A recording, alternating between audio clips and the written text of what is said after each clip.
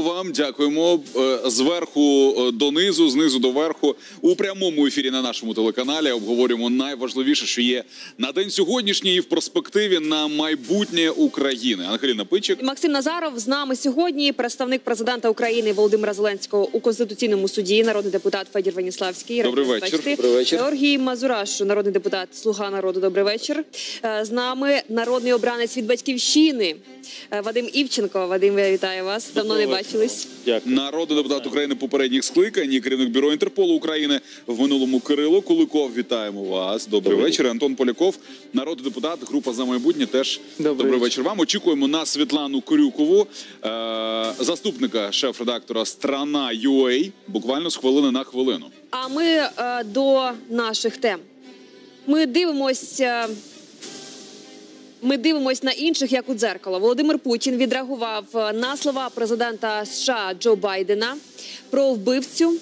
Президент Росії згадав дитячу приказку, яку саме почуємо зараз. Кто как обзывается, тот так и называется. И это не случайно, это не просто детская э, поговорочка и шутка. Вот, э, смысл очень глубокий в этом, психологический. Мы всегда в другом человеке видим свои собственные качества и думаем, что он такой же, как и мы. И из этого исходя оцениваем Ви Знаєте, можливо, Володимир Путін мав на увазі е, події. Буквально в перші дні свого президентства Джо Байден е, дав розпорядження обстріляти військові бази, бази в Сирії.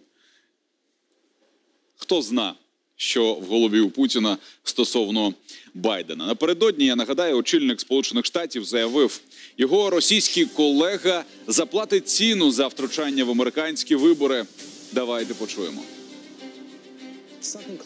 Ви знаєте Володимира Путіна. Ви вважаєте його вбивцею? Так, вважаю. Яку ціну він мусить заплатити? Він заплатить ціну, ви побачите. Хоча, звичайно, є вираз іти й одночасно жувати жуйку. У нас є спільні інтереси, і там, де вони є, треба вести спільну роботу. Е, Коментувати вислів про Путін вбивця взявся і п'ятий президент Петро Порошенко. Він подякував Джо Байдену. Е, Мовляв, його заява зараз вкрай важлива для України. Почуємо Порошенка. Путін вбивця. Те, що наша команда говорить з 2014 року, і те, що з 2019 року жодного разу не наважився вимовити Зеленський вголос і на увесь світ вимовив Джозеф Байден. Дуже гарна відповідь на питання «Who is Mr. Putin?» Таке публічне визнання американського президента для України на вагу золота. Ну, Певно, Петро Олексійович Порошенко дуже добре знається на вбивцях. На висловлювання Джо Байдена відреагували в Євросоюзі. Речниця Єврокомісії заявила, що Володимир Путін, як глава держави, несе відповідальність за політику та дії російської влади. Почуємо.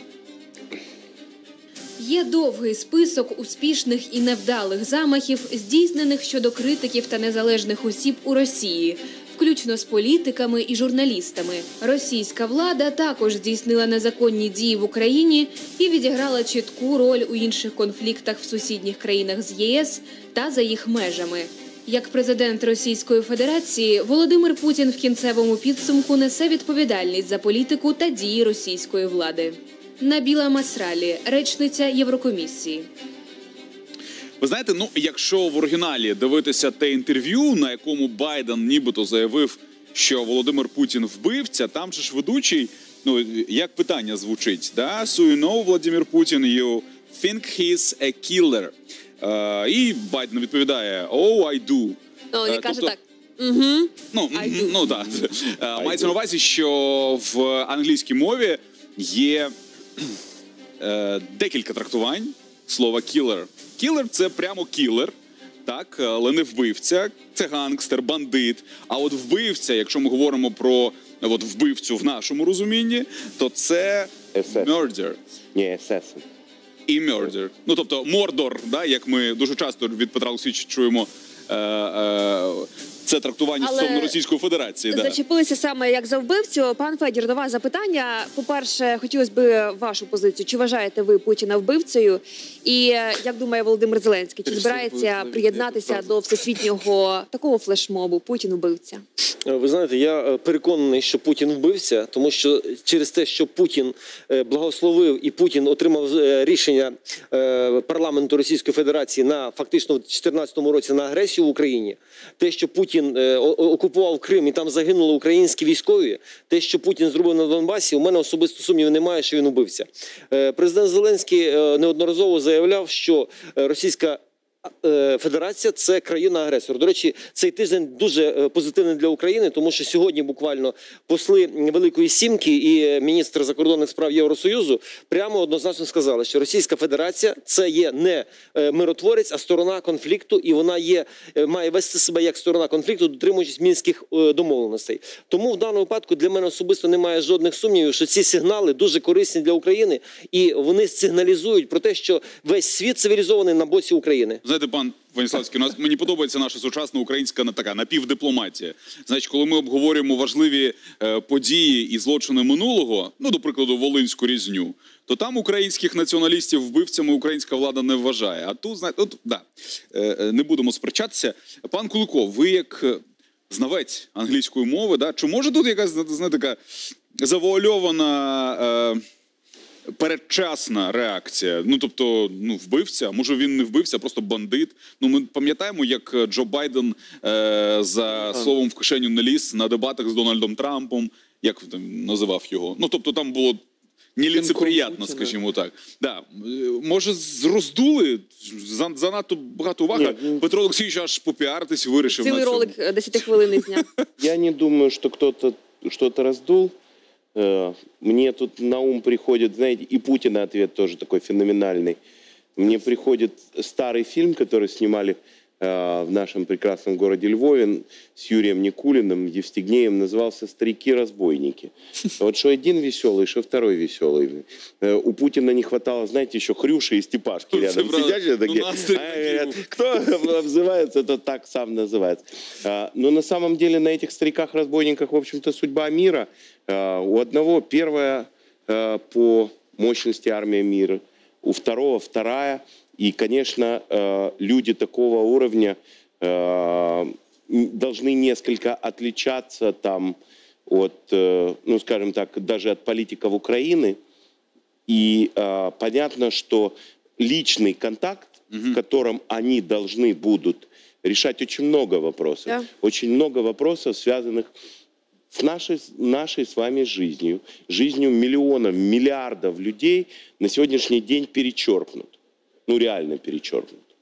И поэтому я считаю, что это ну, стратегическая ошибка и со стороны Соединенных Штатов Америки, и э, стратегическая ошибка, э, ну и Путин, он не показал, ну правда, им сегодня не до того, у них там сегодня в Останкино Крым наш, там концертище, А, там, Лужники, там, да, ра- ра- да, радости, да, там да, поют, да. гуляют, там все хорошо. Э, Они на это внимание не обратили, там, слава президенту России, но э, это четко толкнуло Россию в объятия Китая, а для Америки это самая большая угроза. А до речі, можемо сказати, що в принципі конфлікт залагоджений з огляду на те, з яким настроєм і як відповів Путін. Що ой, вам здоров'я, містер Б- Байден. Уважаемая Е, це Ангелина, приказ- это И теж надо, тонкий троллинг. это, это надо этих немножко там психически стурбованных от Петра Алексеевича. Они все время знают, что Путин, Путин вырішив, Путин сказав. Пу- в- Они все время такое впечатление, что они в кабинете у него сидят. Ну, знаете, они постоянно комментируют. Вот как Турчинов постоянно комментирует наступление российских вооруженных сил, так эти совершенно э, постоянно комментируют реакции Путина. Я не знаю, какая реакция Путина, я не знаю, какая она может быть. Я понимаю, что в, э, на языке дипломатии э, это уж очень грубо. Ну, то есть вот какой-то недоразвитый посол Украины в Германии может выдавать такие вещи, а главное действующее лицо международной политики, ну, с трудом. Вадиме, а ви що думаєте? Катастрофа? Як це так? Як можна на дипломатичному рівні називати там вбивцями? І насправді, коли Путін коментував широко це питання, він натякав, що від вбивці чую. Ну це якщо так е, витягнути основне і сказати прямо, що мав на увазі Путін. Я вам скажу відверто, важко коментувати людей, які знають одне одного з 2000-х років. Е, Фактично, коли Путін розпочинав свою політичну діяльність, Байден вже був при певних посадах теж в Сполучених Штатах. Тому вони знають одне одного. Вони досить багато проводили перемовин. Е, Як Байден з Путіним, коли він працював в, в офісі президента Обами, так і безпосередньо, можливо, на інших посадах, коли і Путін, можливо, був, скажімо, іншою людиною. Тому тут важко, ми не знаємо, які особисті між ними відносини. Можливо, вони тепліші, а можливо, навпаки, вони ненавидять один одного. Настільки теплі, що Тому- можна вбивцею назвати. Я ж кажу, а можливо, вони інші, тому вони і такими яскраво вираженими словами е, друг другу доводять свою, скажімо так, е, е, е, ну скажімо так, повагу. Ну, в лапках повагу. Тому тут важко говорити. На дипломатичній мові, знаєте, це, це означає, е, послали один одного. Ну, фактично так і є.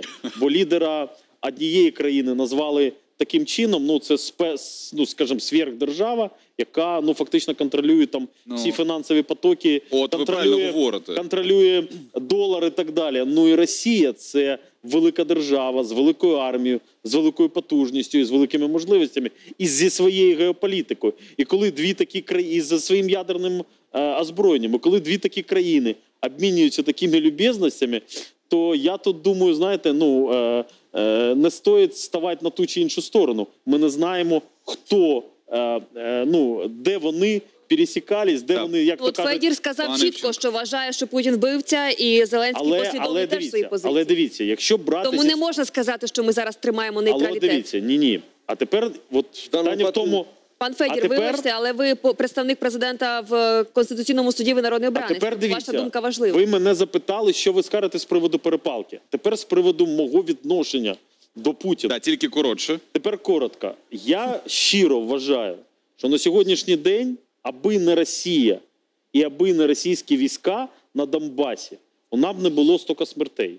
І дивлячись в очі матерям і загиблим і так далі, я точно скажу, то той, хто я не буду називати прізвища, але ті, хто надають прикази і приймають політичні рішення в Росії щодо війни в Україні, це вбивці. Да. Я не знаю хто, але це точно так. Моє велике Е, так, да, почули на вас. моє Ди- переконання. Да, з нами на зв'язку зараз е, російсько-німецький політолог Олександр Рар. Олександр, здравствуйте.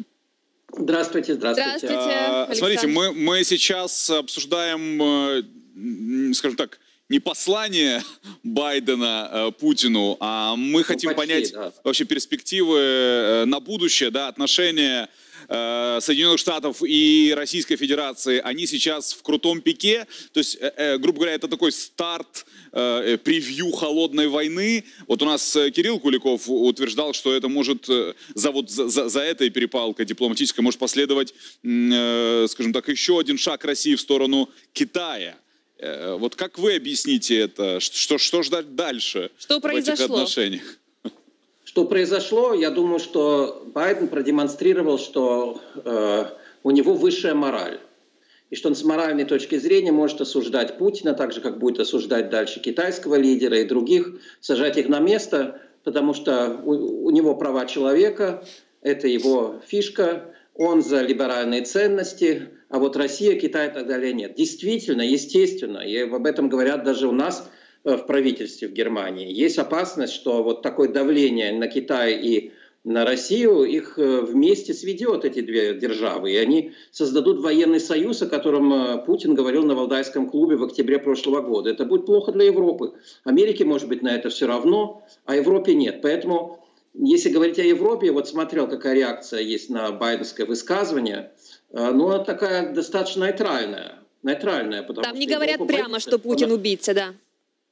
не, ну Европа говорит, то есть, то есть я не знаю, как говорят в Польше, наверное, там э, и в Прибалтике, там поддерживают Байдена, но в Германии, во Франции все-таки, вот я смотрю первые реакции, говорят, что ну, ни, ни в коем случае Америка и Россия не должна до тех э, уровней перессориться, что вообще диалога не будет, потому что надо столько вопросов все-таки решать, несмотря на конфликты. В первую очередь вопросы разоружения, с этого самого договора по э, СНВ-3 и много других вещей, сделку по Ирану, переустройство Ближнего Востока, много-много вопросов. А если там диалога не будет, и Байден и Путин после такой перепалки не будет садиться один стол, кстати, Путин, я- Путин-то сейчас ответил Байдену, в принципе, другими словами, мягко, гораздо мягче, он тоже сказал, что ты же, тем, что ты меня называешь, ты сам.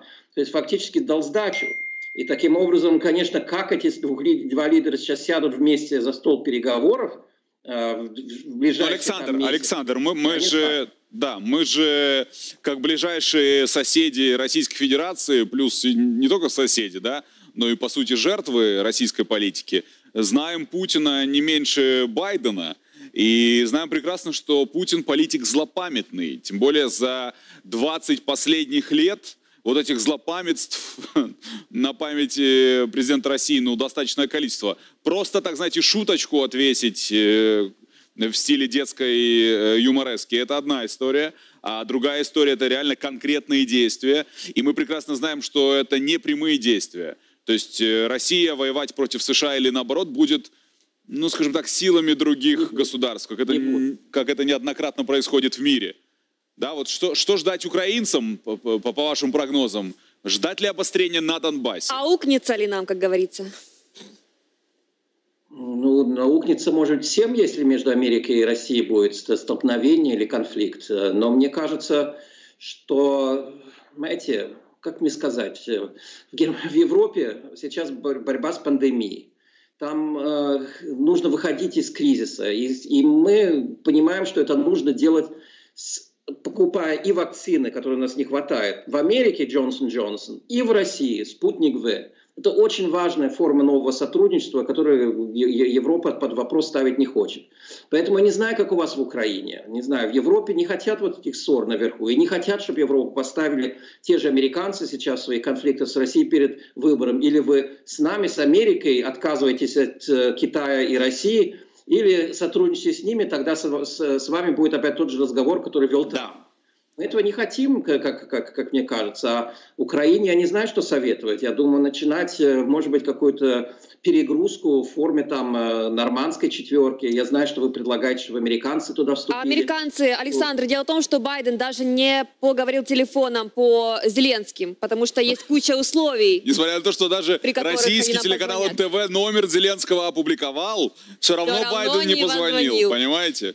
То есть у нас Ну, тут видите, какая-то задержка. Я же не хочу ничего, ничего, ничего там утверждать, что я не знаю. Но, может быть, действительно, украинский вопрос сейчас не главный приоритет европейской, американской Как политики. обычно. Не, просто.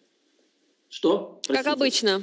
Не главный приоритет Не, украинский не вопрос. как обычно, это же тоже неверно. Украинский вопрос стоит очень остро, потому что это в Европе идет конфликт, который нужно каким-то образом решить. Но я надеюсь, если банальным языком говорить, что все-таки Германия и Франция согласятся или уговорят провести встречу нормандской четверки и, э, Да, Александр. и Минской переговоров в Берлине. это на очереди сейчас. Вот на это нужно надеяться. Это следующий этап. Что из этого получится, увидим дальше. Но, конечно, Услышали чем больше вас. конфликтов Да. между Америкой и Россией, чем хуже. Увидим, Мне кажется. э, услышим. Спасибо вам за аналітику. Олександр Рар, російсько-німецький політолог, е, був з нами на зв'язку у прямому ефірі. От все ж таки, пан Я хотів, я хотів просто да, додати. реплік коротко. Давайте. А у нас же ж процес е, заморожений е, поїздки новопризначеного посла України в Сполучених Штатах, оскільки посол вручає вірчі грамоти президенту, і президент має прийняти посла нового.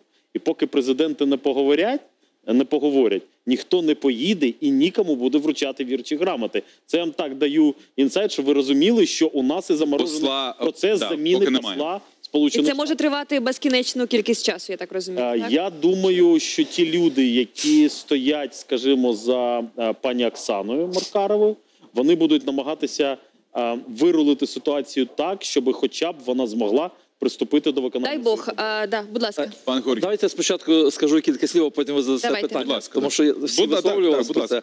Е, е, Знаєте, е, коли ви говорили про е, переклад, та, як сприйняти, то я от сивий, я народився ще в Радянському Союзі, і у нас тоді ще був такий анекдот, коли е, радянський журналіст там з Вашингтона там робив репортаж і запитав свого перехожого, там, як його звати. Той сказав: My name is John, вибачте, я англійську не вчив, так, французьку і німецьку трішки. Е, І і той е, цей переклав. Його звати Джон, он не їв 6 днів. Да? То буває, знаєте, що по- по-різному. Е, Там був ще відеоряд, там, е, де показали попереднього президента України, де він сказав там та дуже сміливо і чітко. Ну, то сміливий теж, Тут не вистачало ще, щоб він сказав жму руку, тому що це все-таки з його боку нормально. В його було стилі, так? Щоб, Ну, да, щоб він сказав. розумію. А якщо говорити про те, я можу так само повторити багато разів. е, Не прямо, звісно, що він вбився, так, але я у мене немає доказів, що він саме особисто. Ясно, що він як політик вбивця, грубо кажучи. І якби це щось міняло, м- м- нам Ну, як і багато світових політиків, ну зокрема. Ну ми ж теж можемо сказати, що Джо Байден вбивця. Або Дональд Трамп вбивця. Умовно, так. А умовно, да. Або інші лідери е, інших е, держав, які Знаєте, е, щодо е, е, інших- є військово-головнокомандувачами. Щодо інших лідерів інших країн ми можемо говорити абстрактно, а щодо Путіна ми говоримо конкретно Через себе, через І я розумію, десятки тисяч я вас розумію, загиблих. я розумію. Тому тут сумнівів немає. Аби ж це якось До речі, впливало на я перепрошую, ситуацію. одна, одна в репліка. Альфреді. Мені щойно прислала смс-ку професійний перекладач. Мьордер це вбивство, але не вбивця. Тому більш чітко кілер все-таки вбивця. Киллер – это не четко человек-убийца, который убивает другого человека. Это assassin.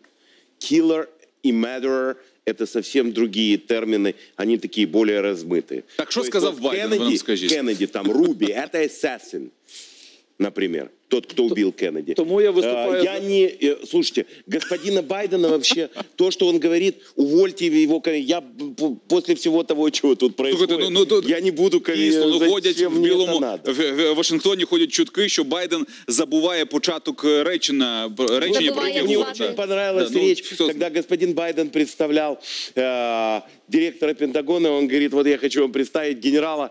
Генерала потом говорит, да я зову його просто генерал. Да, Вот. да, забув главу Пентагона, як звати. Нормально, генерал зову я его. Да, шановні друзі, поэтому, за есперанто, дай Бог ви ему, плутаєте как сказал Владимир Владимирович, дай Бог ему здоров'я. Дивіться, ми ж, ми ж тут, ми ж в Києві, ми просто спостерігачі. Ми спостерігачі на арені цирка, да, як там, ну, або гладіаторській якійсь арені. Просто хочеться зрозуміти, що далі по Україні. Дуже важливі кейси. Дивіться, якщо ми говоримо про військове протистояння на Донбасі, чи збільшить допомогу, чи науськає, грубо кажучи, адміністрація Джо Байдена, нашого президента, нашого віцпрезидента, на посилення військової, скажімо так.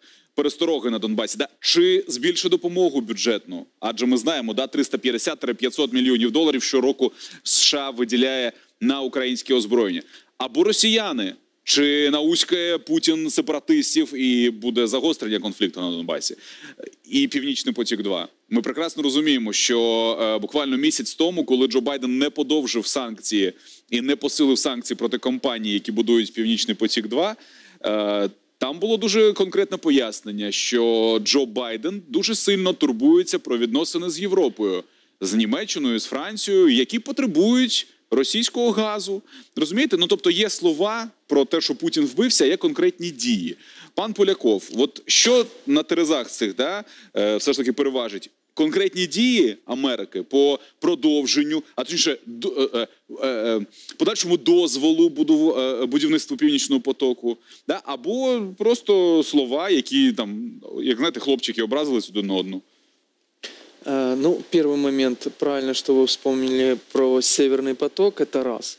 И второе, э, только что мы перебрасывались фразами, э, договор СНВ, он же тоже был продлен на 5 лет. А Трамп Хотя- в е, листопаді минулого то есть, року то есть Трамп, получается, цього. который был пророссийским, да, которого э, фактически Байден называл, правильно Другом сказал Путина. Макс, э, щенком Путина, да? Ой. Было такое? Было. Было, было. И вся команда Байдена полностью их выставляла вот в таком свете. Э, Но на самом деле получается, что Байден более пророссийский в своих действиях, чем в словах. По поводу этого интервью, ну, мне кажется, что он не был готов к этому вопросу. То есть это такой вопрос, на который, в принципе, э, он должен был однозначно ответить так, как он ответил. Исходя из такой позиции, которая у него была. Если бы он по-другому ответил или ушел бы от ответа, то это уже бы противоречило всей А, их Антон, можна ж було ска- е, можна було предвыборной б сказати кампании. так, що е, сам, есть, наприклад, как е, будто та його політика, журналіст яку загнав провадить в тупик, Путін, он вона даже секунду приводить до там смертей. задумався, Можна да. ж було б якось дипломатично. Е, Байден з 30 чи з 27 років, якщо не помиляюся, в політиці. А йому зараз Можно было, 68. но тогда бы, я думаю, российская сторона уже бы красиво это обыграла. А так пришлось немножко высмеять. Но в целом, э, честно говоря, действия как раз показывают немножко даже схожесть Байдена. Ну, я для себя, это мое субъективное мнение, я не э, суперспециалист международной политики, но мне кажется, немножко даже Петр Алексеевич похож с, с Байденом по вот такой вот, м, скажем так, двуличной позиции, когда говорим Да. одно, а делаем другое. Дивіться, е, від сьогодні, від 18 березня, Сполучені Штати запроваджують нові обмеження, які стосуються товарів подвійного призначення. Це пов'язано з Російською Федерацією. Це пов'язано якраз таки з військовими технологіями. Йдуть конкретні санкційні провадження. Ну а далі Джо Байден в цьому ж інтерв'ю висловлювався стосовно втручання Володимира Путіна, особисто його, вибори президента, якраз таки президента, коли обирали в 2020 році. І Джо Байден говорив про те, грубо кажучи, що Путін майже особисто е, писав розмови Джо Байдена для його подальшої дискредитації з Петром Олексійовичем Порошенко, нашим тодішнім п'ятим президентом. Писав так, щоб е, потім за допомогою українських депутатів мався на увазі, звісно ж таки, пан Деркач оприлюднити і допомогти Дональду Трампу, як було сказано, другу Путіна, перемогти сьогодні.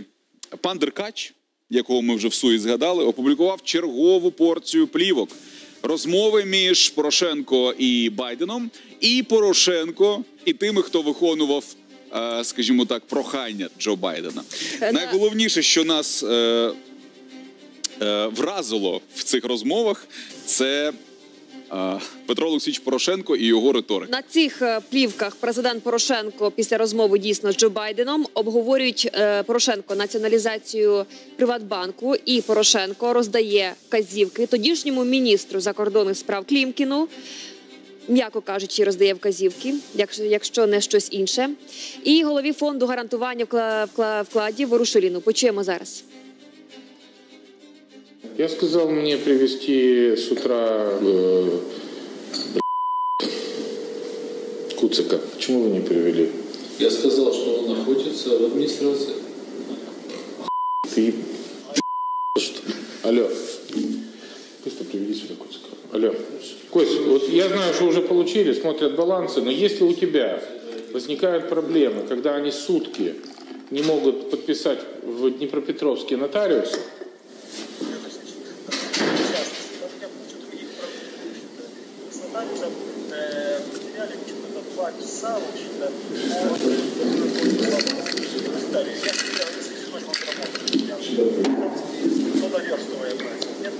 Проблема в том, что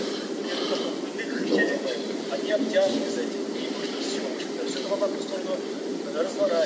Костя, возьми к себе юристов, потом быстро передай это за полчаса, пусть Соловьева передаст Шлопаку и скинь себя на пробел С себя эту Костя, ты слышишь меня или нет? В, це, в цю секунду в студії з'явилася Світлана Крюкова. Пані Світлано. Е, так, е, заступник шеф-редактора «Страна.ua». Сьогодні «Страна» опублікувала ці плівки. Вітаємо вас. Кстати, обратите внимание, как хитро мы это сделали в телеграм-канале, не на ютубе. Да. Така нецензурна Ви- лексика, що боїтеся офіційно. чогось? А, Нет, мы перестраховываемся, потому что есть опыт. а, И а, зачем рисковать? Все равно кому надо, все увидят. Тем более, что это видео сделано с расчетом, вернее, не сделано, оно записано и в данном случае представлено с расчетом на так называемые интеллектуальные элиты. Я думаю, вы э, кто-то оценили. имеет опыт общения с Порошенко неформальный, а, но я, например, впервые слышала, как э, бывший президент на хорошем русском родном языке, а, хорошим русским матерным словом обсуждает деловые вопросы. Да, це, це дуже дивно, враховуючи те, е, що наш е, п'ятий президент такий гетьман, він націоналіст. На його телеканалах, е, значить, борються з москалями, як Да. самі вони там говорять. як- да, навіщо дуже це дивно, робиться да. зараз? Вообще, вы знаете, я вам хочу сказать, э, это видео, оно в целом очень показательно по э, в- то, что я называю э, понятийно-репутационные вопросы обсуждения любых процессов реформ во власти. То есть вот они э, выходят на публику, начинают изображать там лагерную украинизацию, при этом возвращаются домой и э, на русском языке общаются со своим русскоязычным сыном, рассказывая ему, что пора уже, наверное, к 18 лет выучить нормально государственный язык. Потом они приходят, э, э, опять выходят в телевизор, рассказывают про какую-то антикоррупционную политику, про необходимость отрезать руки, ноги, пальцы. Потом они возвращаются к себе в кабинет и начинают на, на президентской должности во время своих президентских полномочий созывать совещание по расширению сети фабрики «Рошен». Это было при Порошенко в тот период, когда было сделано это видео. Ну, вернее, эта запись. И так далее, и так далее. Это называется политическое фарисейство. Оно, это, ви- эт- этот звук, он об этом. Е, Пан Веніславський, завтра, в п'ятницю, 19 березня, о 17 годині, ми будемо чекати пана Данілова, який в черговий раз вийде на брифінг і скаже, проти кого введені санкції. Ну, от, Харківські угоди, е, плівки стосовно Порошенка, виклики Медведчука в СБУ і виклики Порошенка в СБУ на допити по якихось спільних справах. Чи це не приводи ввести проти Петра Олексійовича або його найближчих е, найближчого оточення санкції? Ну нарешті, чи ви на закуску його відкладаєте? Чи взагалі Я не можу відкладаєте? Чи. Порошенко недоторканий? Е, Ви знаєте, е, в даному випадку питання не в прізвищах конкретних, а в тих діях, які дозволяють або не дозволяють застосувати санкції. Якщо буде достатньо доказів того, що пан Порошенко вчиняє ті дії, які загрожують національній безпеці чи загрожували національній безпеці, я не виключаю, що проти нього можуть бути вжиті санкції. Але у мене такої інформації немає, що на даний момент це питання якось розглядається чи не розглядається. Питання, які розглядає Рада національної безпеки і оборони, це ті питання, які на даний момент становлять загрозу національній безпеці. Будемо очікувати завтрашнього брифінгу пана Данілова. Я думаю, ми почуємо багато цікавого. Пан Федір, коли раніше коментував Зеленський е, подібні записи, подібні плівки, його бентежило не зміст плівок, а сам факт того, що президента можуть прослуховувати, і так само це може ста- трапитися з чинним президентом. Навіть Зеленським, була ж ініціатива посилення відповідальності за Так. Такі публікації. Як ви думаєте, е, буде якесь продовження от е, цих ініціатив стосовно посилення відповідальності? Можливо, якесь розслідування навіть розпочнете в зв'язку з тим, що прослуховували, хоч і не чинного, але й попереднього президента? Ну, у будь-якому випадку е, прослуховування високопосадовців такого рівня, воно в принципі є непри... недопустимим, неприпустимим за будь-яких умов і незалежно від того, хто на посаді президента. Ну ж бачите, Байден стверджує, що Путін писав, а Путін не питає дозволу. Ну, е, ви знаєте, я хочу сказати, що та інформація, яку ми отримали від Байдена і від е, американської розвідки, вона чітко однозначно стверджує про те, що Російська Федерація втручалася в с- е, справи Сполучених Штатів у вибори і використовувала для цього деяких посадових осіб України. В даному випадку це одна е, велика е, гра, про яку ми можемо лише напевно на Стосовно цієї гри, да, ми нагадаємо, що це вже не перші плівки за участю нашого е, значить, е, е, батька нації, п'ятого президента Петра Порошенка. З попередньої порції записів ми дізналися, що Петро Олексійович вважає Байдена не просто другом, а цитую янголом-охоронцем. Інший раз, е, е, зокрема, в цих плівках обговорювалися тарифи заради Байдена і його е, прохання збільшити тарифи за допомогою е, е, мем- мем- меморандуму МВФ. Порошенко збільшив тарифи на 100%, а не на 70%, здається, як просили. Да. Давайте просто шматочок почуємо. Благодарю вас с наступающим. Я не знаю, там раньше называлось Днем международной солидарности трудящихся. Поэтому я не знаю, в России изменили это название или нет, мы пока старое оставили.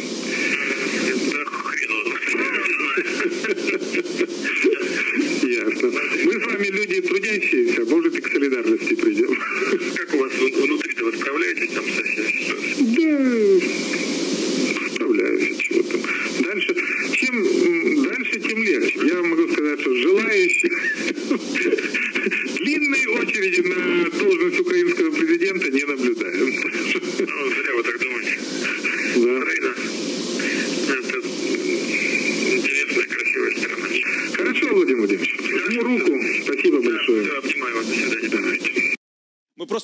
просто ну ми зобов'язані нагадати нашим глядачам, як Петро Порошенко з вбивцями розмовляє. Жму руку, обнімаю. Фейк і провокація, казав Порошенко. Тоді про плівки у Байдена їх назвали діркою від бублика і закинули Андрію Деркачу втручання в американські вибори. Після того уряд США навіть запровадив санкції проти нього та ще шести українців. У той же час, коли Байден став президентом, в Україні закрили справу щодо плівкового скандалу. Крил, а до речі, у вас є якісь припущення, як взагалі могло таке трапитись, що Пере- Порошенка тоді прослуховували, і зараз ці плівки частково виходять в мережу. І чому саме зараз? Можливо, у вас теж є припущення? Я так думаю, У меня що даже зараз ще і сомнений. Зеленського У прослуховують. меня даже сомнений нет, что это сливал сам Петр Алексеевич, судя по натуре Петра Алексеевича. То есть он, а, хочу напомнить, тут э, Петр Алексеевич вчера выступил с, э, с воззванием, как все-таки с 2014 года он боролся с диктатурой Трампа. У господина Трампа был такой адвокат, звали его Коэн. Так вот, чтобы сфотографироваться, помните, там была короткая встреча Петра Алексеевича, а потом этот адвокат э, давал, э, был обвинен и пошел на сделку со следствием, его выпустили. Вот, он давал э, показания о том, что ему заплатили просто 400 тысяч Петр Алексеевич за вот эту фотографию с господином Трампом. Поэтому, опять же, э, говорю, для Петра Алексеевича э, он э, бескорыстно любит только одну вещь. У него нет никакой идеологии, он бескорыстно любит деньги. И за деньги Петр Алексеевич может завтра возглавить секту сатанистов, послезавтра стать геем, э, после, Ох, послезавтра Сподіваємось, що не сепаратистом. так радикально. Петр Алексеевич, пожалуйста. Вот не так радикально, конечно, как сказал Москаль насчет Кравчука, который может за деньги в храме. Ну, да, мы это не произнесем. Петр Алексеевич может и в храме это сделать. Переодеться и все остальное. Петр Алексеевич абсолютно циничное, беспринципное животное. Я бы вот честно, конфликт бы между двумя президентами, там Байден что-то не то сказал, э, Путин не то ответил, я бы высмеял бы там между ними двумя, показал бы, спросил, а это вообще кто? Вова, а это кто нас Я комментирует повторюю вообще? питання: да, чи є зараз приводи у чинного президента Зеленського вводити санкції проти Петра Порошенка? У- у нас От Світлана Крюкова сказала, да, що відносно- є докази того, що були засідання в робочому ну, кабінеті ми ж- збільшувати мережу Рошен. С вами это миллион раз уже обсуждали, и уже, э, скажем так, не, не является это... не- нет э, такого правового инструмента, как санкции в отношении граждан Украины. Вы можете сделать с ним все, что угодно. Вы можете их обвинить, вы можете их привлечь э, к ответственности и так далее. Это граждане Украины. Санкции вводятся Разумею. в отношении тех лиц, к которым мы не можем дотянуться. Да, Світлано, до вас ще запитання. А чому саме таке відео опубліковано? Не можу сказати, що воно компрометуюче, що за таке можна притягнути от реальна підстава до Порошенка до відповідальності, якщо підтвердять автентичність цих плівок, що там дійсно голос Порошенка, тому що експертиз, я так розумію, так і не провели, як і обіцяли. І е, це що? Щоб понизити його рейтинг? Яка основна ціль? Чи просто для розваги? Любое видео с голосом президента, э, записанное в формате непубличной дискуссии, оно компрометирующее. Однозначно, поскольку будь то маты, будь то, э, э, скажем, такое смешное поведение в общении с лидером другого государства, которого Порошенко называет агрессором, где он показывает себя, ну, совсем не воин-завоеватель, и где он демонстрирует свое политическое фарисейство. Потому что на публике один, это компрометирующее видео. Почему оно появилось именно Моральной сейчас? стороны, Потому что о, мы общались с Деркачем, который является... э, он не автор пленок, э, пленки ему передали, но является, скажем так, продюсером проекта под названием «Пленки Деркача». Он нам передал это видео вместе со своими комментариями именно сейчас, поскольку была соответствующая профильная дискуссия. Я не знаю, почему он это сделал, но нам оно интересно с информационной точки зрения, поэтому мы как бы ему не отказали Точнее, мы были заинтересованы в том, чтобы оно было у нас опубликовано. Ну, як чесні журналісти, зокрема, Ні, ну, зацікавлені в е, тому, що смотрите, правда Ну це цікаво, без з'явилася. Э, да. Есть очень простое объяснение, почему э, мы это делаем, потому что мы сейчас живем в эпоху э, так называемых э, пленкогейтов, то есть когда э, очень модно и очень популярно п- публиковать э, частные переписки. Не мы пу- публикуем наши переписки, это, это неправильно, но мы можем публиковать э, то, что попало в прицел э, папарацци, например, или то, что кто-то записал. Это представляет информационную ценность. Люди любят подглядывать, подслушивать. э, Это определенная форма такого, знаете, психологического наслаждения, как мы часто наблюдаем со стороны читателей и зрителей. И сейчас это в тренде. Поэтому, безусловно, подобные пленки, они вызывают большой интерес у читательской аудитории. Мы Ну, але якщо говоримо ми про подглядувати за першими особами держави, грубо кажучи, в кабінет Зеленського, да, раніше, здається, ви, пані Світлано, говорили про те, що ну, можливо, у когось з українських олігархів вже є плівки на Зеленського. тому що на початку його каденції хтось ну певно точно писав. Про що йшла мова на дуже серйозних і певно секретних е, е, засіданнях. Рано или поздно появятся какие-то пленки Тобто можемо про це э, голосом и с участием Зеленского, однозначно. Любого президента была какая-то история скандала с пленками, начиная от Кучмы, история с пленками Мельниченко, и заканчивая... а, у Януковича это была амбарная книга. Там просто как бы не принято было писать. Вся партия регионов, они немножко... Там просто по-другому. розписуватися. Да. Да, они просто расписывались. Причому можна просто брати виступи з 95-го кварталу, їх багато, і просто зманіпулювати, і вже от Э, е, голос Я президента. думаю, что, да, извините, я думаю, что Зеленского тоже ждет какая-то участь с пленками, но это будет немножко позже. Або Андрія Дивіться. Ярмака, наприклад, е, стосовно вагнерівців, але це Хто знає. бачиш. е, Або, можливо, хтось Повні опублікує шухляді. чергову порцію плівок е, розмови Суркова і Медведчука, і ми дізнаємось про діяльність Петра Олексійовича Порошенка і його наближених. е, А можна сказати клерків, да, ну, зокрема, да, от всіх наближених осіб до, до Петра Олексійовича, е, їх діяльність, хто там кришував з СБУ е, е, значить, готівку, яка вагонами, певно, йшла, або з Донецька, Луганська, або туди. Да, хто До там е, е, зброєю торгував, Теса, ну, Вадиме, знаєте, а ви да. спілкувалися неофіційно з Порошенком? Він дійсно такий матюкливий, як на цих плівках. Спілкувався не раз і ще до президентства, і після вже в парламенті, ну і в куларах. Не хотів би коментувати, який він є, але Ну, схожий, як на плівках. але Ілі те- хорошо, те, те, що лідери е, багато лідерів розмовляють двома мовами, це факт. Трьома, ви хотіли сказати. Ну я кажу в кулуарах і в парламенті розмовляють двома мовами. Це факт. І багато це, це лідерів робить. Ну це нормально. Я теж в кулуарах розмовляю тією мовою, яку мені Да. е, для яка для мене рідна рахується. Е, Репліка, пан Горд. Я хотів сказати, що Світлана говорила про е, наради, які проводили з метою там е, збільшення мережі Рошен. То е, можна підтвердити, що все-таки ці наради, напевно, були дуже ефективними. Тому що ви знаєте, ті після того з'явився такий вислів, коли казали, що знаєте. Кажуть, що десь високо-високо в горах є хутір, де немає магазину Рошен. Так? Тому, значить, вони проходили успішно ці наради, вони Я, я, розвивали. я, до речі, ще хотів нагадати про Ворошиліна. Він же ж був працівником корпорації Рошен. Потім він став, е, як і Вовк, пам'ятаєте, той пішов на енергетику в комісію, а Ворошилін пішов на фонд Ну тут Зеленський від Порошенка Тому- нічим не відрізняється. Тому, да. тому Да. Порошенко звик, напевно, ще з бізнесу так говорити, і він на нього так, так і казав. Да. Згадати, скільки кварталівців е, там, або з розсміши коміка, або з Ліги сміхи працюють поряд з президентом. Ну, президент нам обіцяв, що такого не буде. Я маю на Ну, увазі Зеленський, але влада, так чи інакше. Зараз влада во всіх. Да, е, е, остання репліка. Антон Антоне, є що Поляков, сказати стосовно цих плівок? Ну чи буде вже доведено не до екстазу, а до в'язниці Петра Олексійовича? Я думаю, однозначно нет, потому что вы видите, какая сейчас ситуация. То есть есть пленки, тут даже дело не в, скажем так, в словах, которые она употребляла, а в, само, в самих фактах. То есть превышение служебных полномочий, и это позиция не президента, а позиция бизнесмена и олигарха.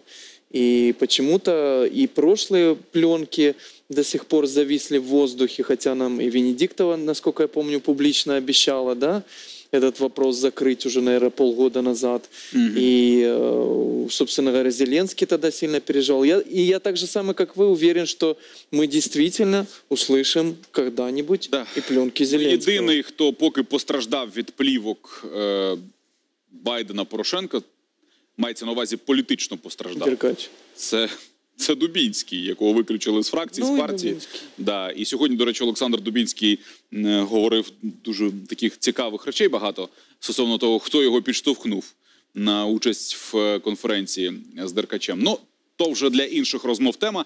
А, у нас ще одна важлива заява, Так. але вже не від Порошенка і не від Байдена. Я лише коротко про Путіна і Байдена. Ми з вами обговорювали цю історію з вбивцею. Є продовження. Путін запропонував Байдену відкриту дискусію в режимі онлайн поспілкуватися. Я процитую Путина. Я сейчас подумал вот о чем. В прошлый раз инициатива телефонного разговора исходила от президента Байде- Байдена. Я хочу предложить Байдену продолжить нашу дискуссию, но при условии, что мы это сделаем фактически в прямом эфире, что называется онлайн, без всяких задержек, а прямо в открытой прямой дискуссии. Мне представляется, что это было бы интересно и для народа России, и для народа США. де і для многих других стран нам би це точно було б цікаво.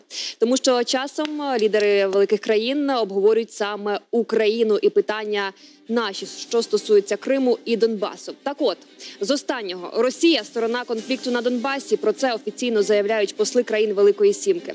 Російська Федерація, звісно, продовжує заперечувати свою причетність. А між тим, J7 обіцяють, що без антиросійських обмежень не обійтися, допоки не відновиться територіальна цілісність України.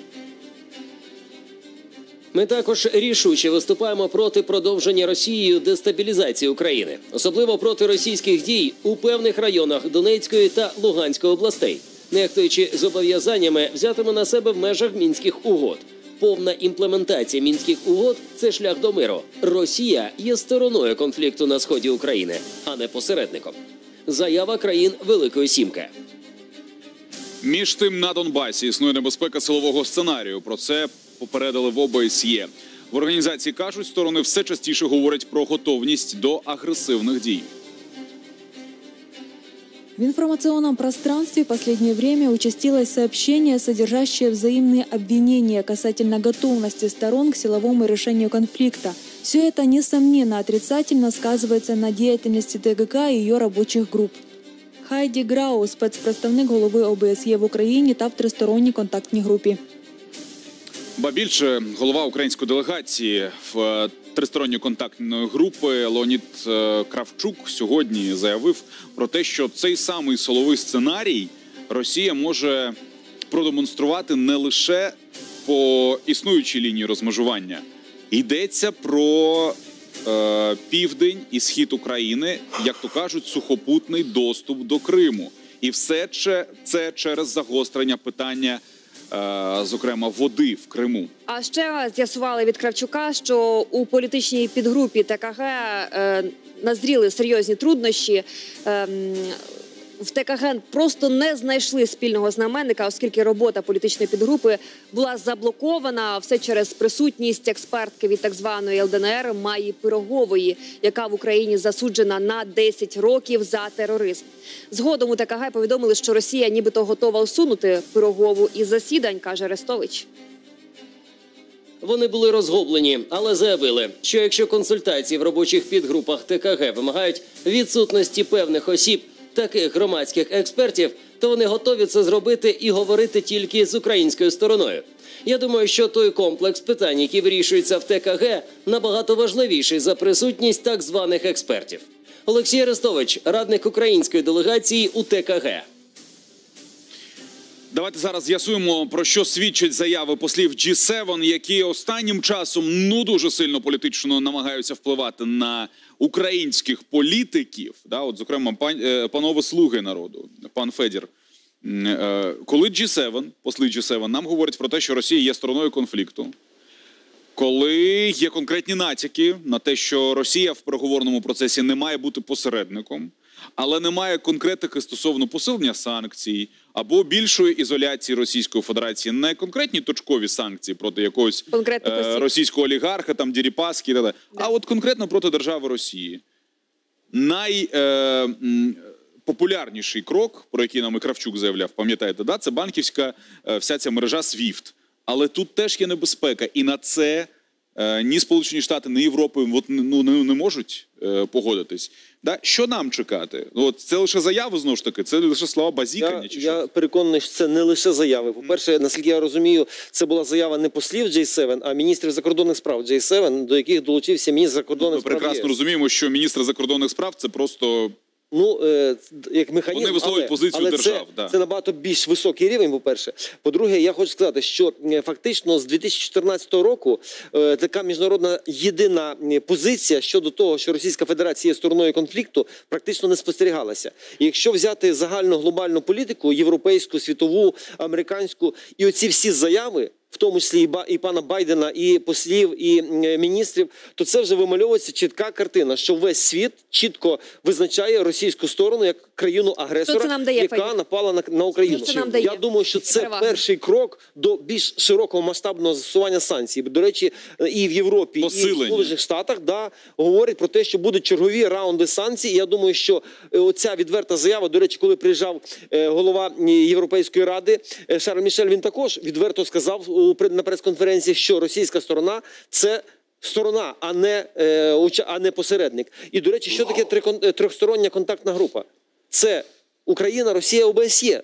І, намагання Російської Федерації засунути в цю ТКГ представників е, оцих квазіутворень це якраз намагання з себе вину скинути. А європейська і міжнародна дипломатія чітко однозначно ставить на місце Російську Федерацію і говорить: ти учасник, ти агресор. І тому я думаю, що це дуже гарні сигнали для України, які дозволять потім використати їх вже більш Але в ТКГ системно. є і представники невизнаних республік. Якби ми не кричали Росію, що ти винна, ти агресор, але все Ми ж, одно. ми ж не можемо вказувати Російській Федерації, кого залучати, кого не залучати. Але коли Російська Федерація залучає тих осіб, які є злочинцями за українським законодавством, українська сторона чітко ре- на це рефлексує. Пане Феді, даст, е, е, Антон, от ва- у вас така була коротка репліка в вигляді одного слова. Нічого це не дасть. Що, що мається на увазі? Тобто, що зараз би світ не робив, Росія не схаменеться? Ви це маєте на увазі? Если вы говорите, что э, нельзя привлекать преступников, то с такой точки зрения вы назвали Путина преступником, а Зеленский с ним ведет переговоры.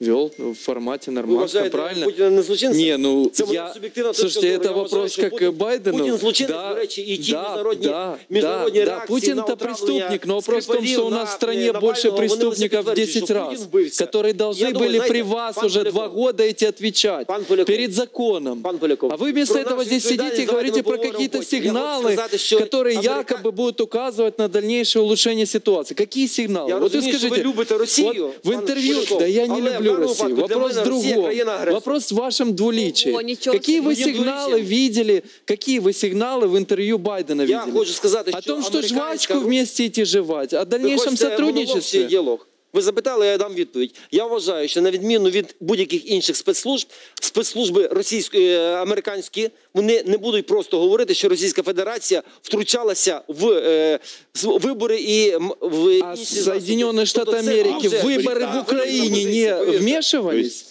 А Украина не вмешивалась в выборы в Соединенных на Штатах? даний момент жодної інформації від Росії від розвідки Сполучених Штатів про втручання А, то есть вы України только на них немає. ориентируетесь? Ну, ви почитайте, пане Владислав. А може, на я Мішельці читаю ще звіти хтось орієнтується? прокурорів е, Сполучених Штатів, зокрема пана Мюллера, стосовно втручання. Там Сергій Лещенко е, із кожи вон вилазив, кричав, Конечно. що він не- не агент, він нікуди не А как его, втручався. а как его Трамп обозвал лично? Я не помню. Ну, именно Я не Лещенко. пам'ятаю, Тоже да. дам. До речі, пан Тобто ви ж Федір, прекрасно ви розумієте. сказали Антону, що я знаю, що ви люб- любите Росію, але це хіба злочин любити Росію? Ні, Можна абсолютно любити злочин. будь-яке Кожен місто, свої будь-яку уподобання. Я країну. вважаю Росію А країною чого так в- агресором, в яка Росії вбила березу десятки шумят? тисяч наших людей. Пан Поляков їй Я симпатизує. просто кажу. Кожен свій вибір. Это ваша субъективная точка зрения. Давайте вы оставите ее при себе. Кому я симпатизирую, І, да, кому по- по- нет. поки Поляков не скаже, любить, любить він Росію чи не любить. Це цікаво. Я Це люблю найголовніше, що є в Україну. нашому ефірі. Так, все. До речі, Антон, тоді резюмуйте, будь ласка, е, вашу позицію. Чому не виходить зараз налагодити стосунки? Чому не виходить домовитись про мир на Донбасі? А как может выходить что-то у тех людей, которые абсолютно не имеют никакой стратегии и понимания будущего? Они не могут сами разобраться в четырех э, столбах. И, Это вы про собственно, какие это когда люди выходят... Это я про команду Зеленского и про тех, кто, собственно говоря, ведет эти переговоры во главе с Ермаком. О чем может быть вообще речь? Если они выходят, говорят нам одно, про сигналы какие-то, про какие-то улучшения, про усиление давления, про санкции, та сторона выходит другое говорит. И сейчас вместо того, чтобы, э, понимая, что они зашли в тупик, в таком, котором был, в принципе, Петр Алексеевич, да, э, вместо того, чтобы что-то предпринимать, они э, решили пойти по другому пути, пути обострения. Команда Зеленского Отходим от реагирует. мира. Георгій, може, у вас є какой-то Е, коментарій? ну, Я, знаєте, як хотів запитати Антона, ти за нас чи за ведмедя, да, там, чи як? Тобто, е, взагалі мова йде про те, що ми хочемо, щоб був мир в країні чи ні. Тобто, я думаю, особисто я. Е, і у тому числі Лично через- вам я вірю, у, у, у тому числі через дякую, через те, що, от Федора. через те, у тому числі, що мій найближчий друг зараз там на передовій, я ставлюся до цього так з е, визнанням найвищої цінності е, людського життя як найвищої цінності. І я хочу, щоб ми всі разом взяті, незалежно від того, там, де хто сидить, стоїть і, і, і де працює, чи, не, чи, чи що він робить, чим займається, щоб ми все робили можливе для того, щоб не мінімізувати, а в ідеалі просто е, до нуля звести жертви на, на сході.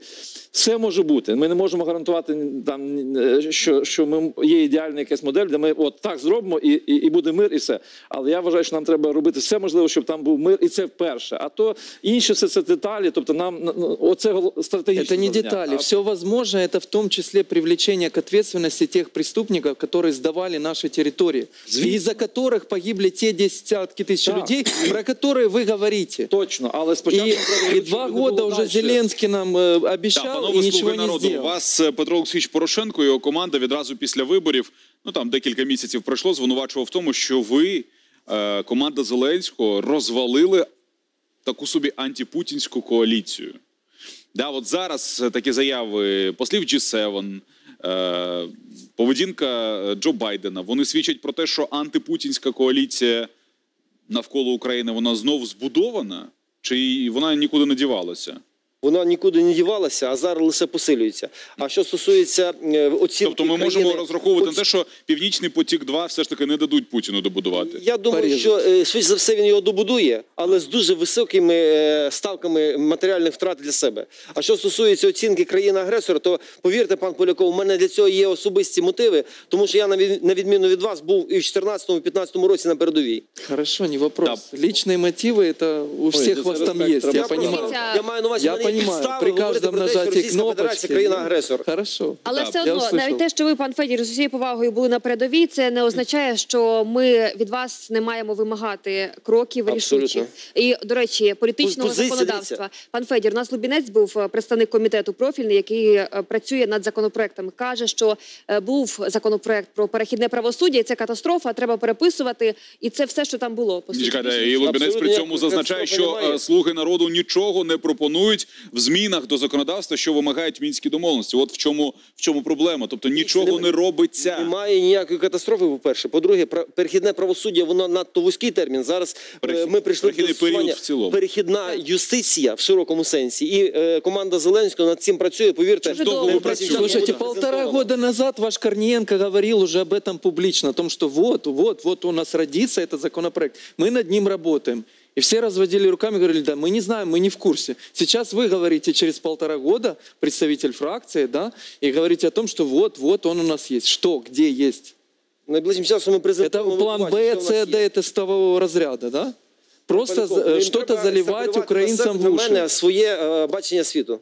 Хорошо, не вопрос. Пан Куликов, Это как Путин, в принципе. як Путін. Ну, ответил как Путин. Пан Куликов, хочеться все ж таки зрозуміти. е, Світ допоможе Україні. Тому От що- послі G7, Путін і Байден, як ми зрозуміли, займаються одне одним. Тобто їм зараз точно не Да, до у нас, них там, щонайменше. мультики, То на кого нам да, покладатися, скажіть, будь ласка. шуточки. Коллеги, я скажу, наверное, такую аполитичную вещь. А, Я не считаю э, Россию врагом.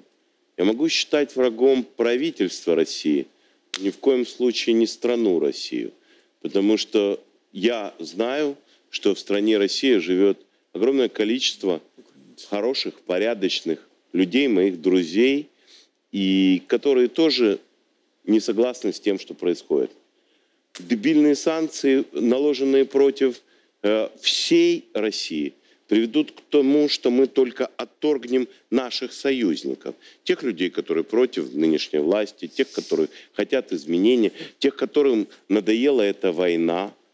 А, санкции, понятно, там против кого-то индивидуально, там против Дерипаска. Понятно? Это же санкции нацелены на, ну давайте правильно скажем, на поиск предателя. Ну, то есть там у всех, у олигархов, включая там нашего светлого Петра Алексеевича, возьмем его, находятся счета в руках дружественного нам американского народа.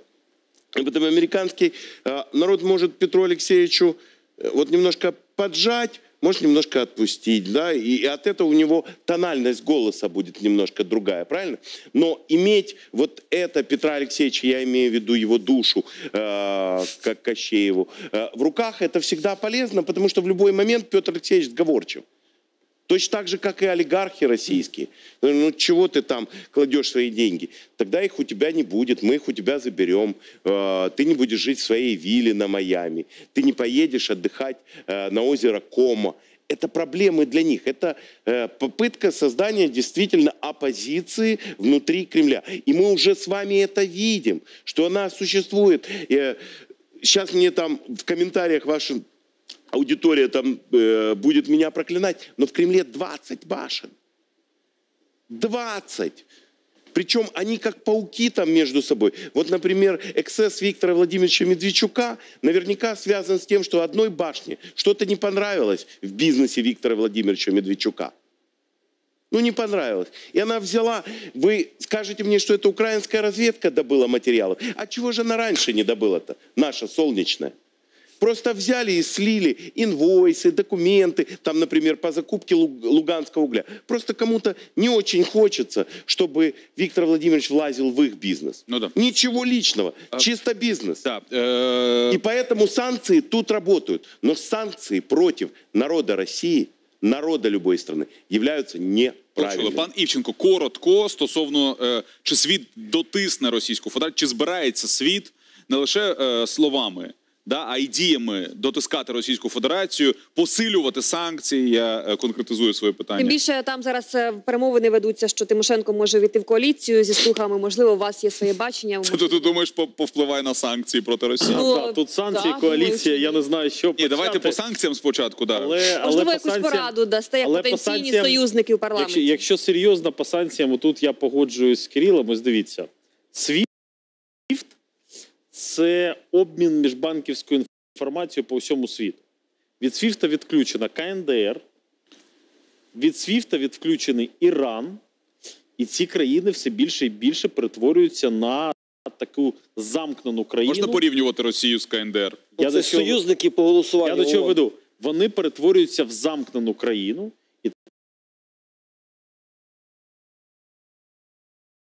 там завжди буде е, е, ну, панувати, скажімо так, господство там певного клану і так далі. Тут ми говоримо про наступне: є е, правлячий режим, і надо, потрібно думати, що робити з правлячим режимом. А люди, які виходять, люди, які виходять на вулиці в Москві, люди, які виходять на вулиці в Пітері, люди використовують цей свіфт, тому що родичі, діаспора, вони користуються е, подорожами, вони літають там в інші країни і так далі. так далі. Їм обрубувати ці можливості, їх злити. І вони все більше і більше будуть такими інфантільними і укріплять будуть цей режим, який буде казати, бачите, що цей Запад з нами робить. Тому тут потрібно розділяти країна, Росія і люди, там 130 мільйонів, і режим, який завів цю країну саме в такі відносини з Україною, ну, зокрема з Україною. Це перше. Друге, е, Тобто знаєте, світ не буде посилювати санкції проти Росії. я сказав по- по-іншому. Я сказав, що потрібно 10 разів думати, які санкції. І я напевно думаю, що має це мають бути санкції Пане проти Івченко, поки там хтось думає, в Україні триває конфлікт. Я про проти, це. проти бізнеса, проти спонсорів, проти влади, проти тих людей, які спонсорують і мають віли в Майамі, на озері Кома, там і так далі. І так далі. Е, от це важливо, тому що вони оточені. Коли все оточення приходить завжди до лідера, каже: слухай, все нормально, але у нас уже нічого там, там, там, там нема. Тому давай якось тут рухатись, тому що нам не вигідно тут з тобою сідати за одним столом і тебе підтримувати. І тоді Путін починає м'якше якось думати, що робити, яку політику провадити. Оце важливо, щоб ми не перетворювали країну поряд з нами в таку країну, як КНДР і Іран. Іран, до речі, відключили від світа в 2018 году, зовсім недавно. От пан я вам, пане Івченко, я вам дуже раджу після нашого ефіру відкрити будь-який російський ресурс там, через VPN, якщо він не заблокований, просто подивитися на рівень народних гулянь сьогоднішніх в Москві стосовно як вони пишуть повернення Кри- е, Крим вернувся домой. От просто ви просто щоб ви просто подивилися на обличчя Путіна, і він на радощах цих е, скайп Байдену пропонує. е, Значить, там е, закликає лужніків в Москві е, весь цей е, про- прокричати, як вони люблять Росію. Просто подивіться, да, йому байдуже. І він це демонструє, і певно це демонструє світ. Оці заяви е, нікчемні послів G7, вони нікчемні, тому що нема ніяких дій під цими словами. Розумієте? Північний потік, як будували, так і будують. Україна Україна реально втратить 2 мільярди доларів на рік. Макс, я Е, намагаюся і дивіться, я ж намагаюся сказати те ж саме, що вони на сьогоднішній день від слів мають перейти до діла, але це діло Але не немає. має бути проти всієї країни. Чи буде а тут діло, виключно да. вони будуть мають бути секторальними. До речі, ви ж знаєте, що Росія вона включена в санкційний список по довгостроковим і се- середньостроковим позикам. Тобто, що це означає? Сьогодні російський бізнес не може взяти позику більше ніж на рік в закордонних банках. Це досить мало для будь-якого У них є свої банки, ви ж знаєте. Почему не? Це інше вже питання. Це інше вже питання. Але ж банківська система, Да. Пані ви знаєте, Крюкова. як у нас в Україні теж є свої банки, але повірте, без іноземного капіталу нещодавно 60 мільйонів влили в е, державний банк А у нас досі домінує Е, до- досі зрозуміло. домінує російський б- банківський капітал в Україні. Да, пані- Деякі пані банки Крюкова. є. І дам Ну, відповідь. пан Вадиме, дайте вже по питання до коаліції Світлани не потрібно. поставити. Ну, добре. Е, Я- Чому ситуація не рухається? Через е, Росію, через Україну чи через і Росію, і Україну? Оберіть правильний ва- варіант, що Э, називається. Давайте я попробую ответить, но в, в рамках ответа по- сообщу вам небольшой инсайт по этой теме. А, э, Не двигаться, потому что, с моей точки зрения, мы в тупике Минских соглашений. Для того, чтобы это двинулось, их нужно глобально пересматривать. И сделать это сможет, с моей точки зрения, опять же, уже будущий президент, потому что это движется в рамках запутанной, замороженной стратегии. А, Но я точно знаю, что история Минских соглашений, а также история продолжения, ну, вообще какого-то движения вперед, она была репутационно важна для действующего э, главы Офиса президента господина Ермака. Во всяком случае, в первое время он ее показывал и демонстрировал внутри Офиса президента как э, персонально-репутационную, э, дал какое-то количество гарантий и обещаний. И, насколько я знаю, судя по тому, что сейчас сплетничают в Офисе президента, в случае, если и будет меняться глава офиса, то э, тема невыполненных, э, скажем так, замороженных переговоров, а также история с вагнеровцами могут стать два- дв- двумя ключевыми картами, которые его собьют. А Андрій Єрмаку щось загрожує зараз? Но э, Его вот посадим, впервые маете на прошлой неделе я услышала разговоры о том, что э, э, история Минских соглашений и вся эта история переговоров может, э, ну, скажем так, забить небольшой кол в его карьеру главы офиса президента. Насколько это всерьез, я не знаю, но уже э, будущие претенденты на этот пост э, начали оглядываться по сторонам. Будущі претенденти, їх много? А Или и- два? ну, я Или знаю как один? минимум Их двоих. два. Ну, А двоих, можно да. называть? А- А Видите, у нас прізвище совпало. можно называть? Ну, один из них это, в частности, господин Пан Данилов, Данилов. который, а, который э, в последнее время является одним из ключевых ньюсмейкеров информационной повестки. Да, да, про, про Данілова ми чули. А фамилия второго ничего не скажет. А второй Это кто? правда. А я от до Євченка не просто так. Он Я работает, за- я за он работает Данилова сейчас в же, администрации. вами. Да, да. А А, кто еще? второй кто? А, Баканов? Не-не-не. Другий це, звичайно, Баканов. А, Баканов? так Баканов. Да. Баканов і Данілов це Ні. сьогодні два претенденти, які От кар'єра від голови підсиджують, СБУ як до то голови кажуть, офісу. голову офісу президента Єрмака. Нехватка, Подумай. острая Більше, нехватка. Это більше Петренко шансів три раза політичних, назначают. Ну, політичних більше шансів і підтримки, тому числі у західних партнерів, має пан Данілов. Баканов це все ж таки ближній до, до родини, до бізнеса а, і до президента.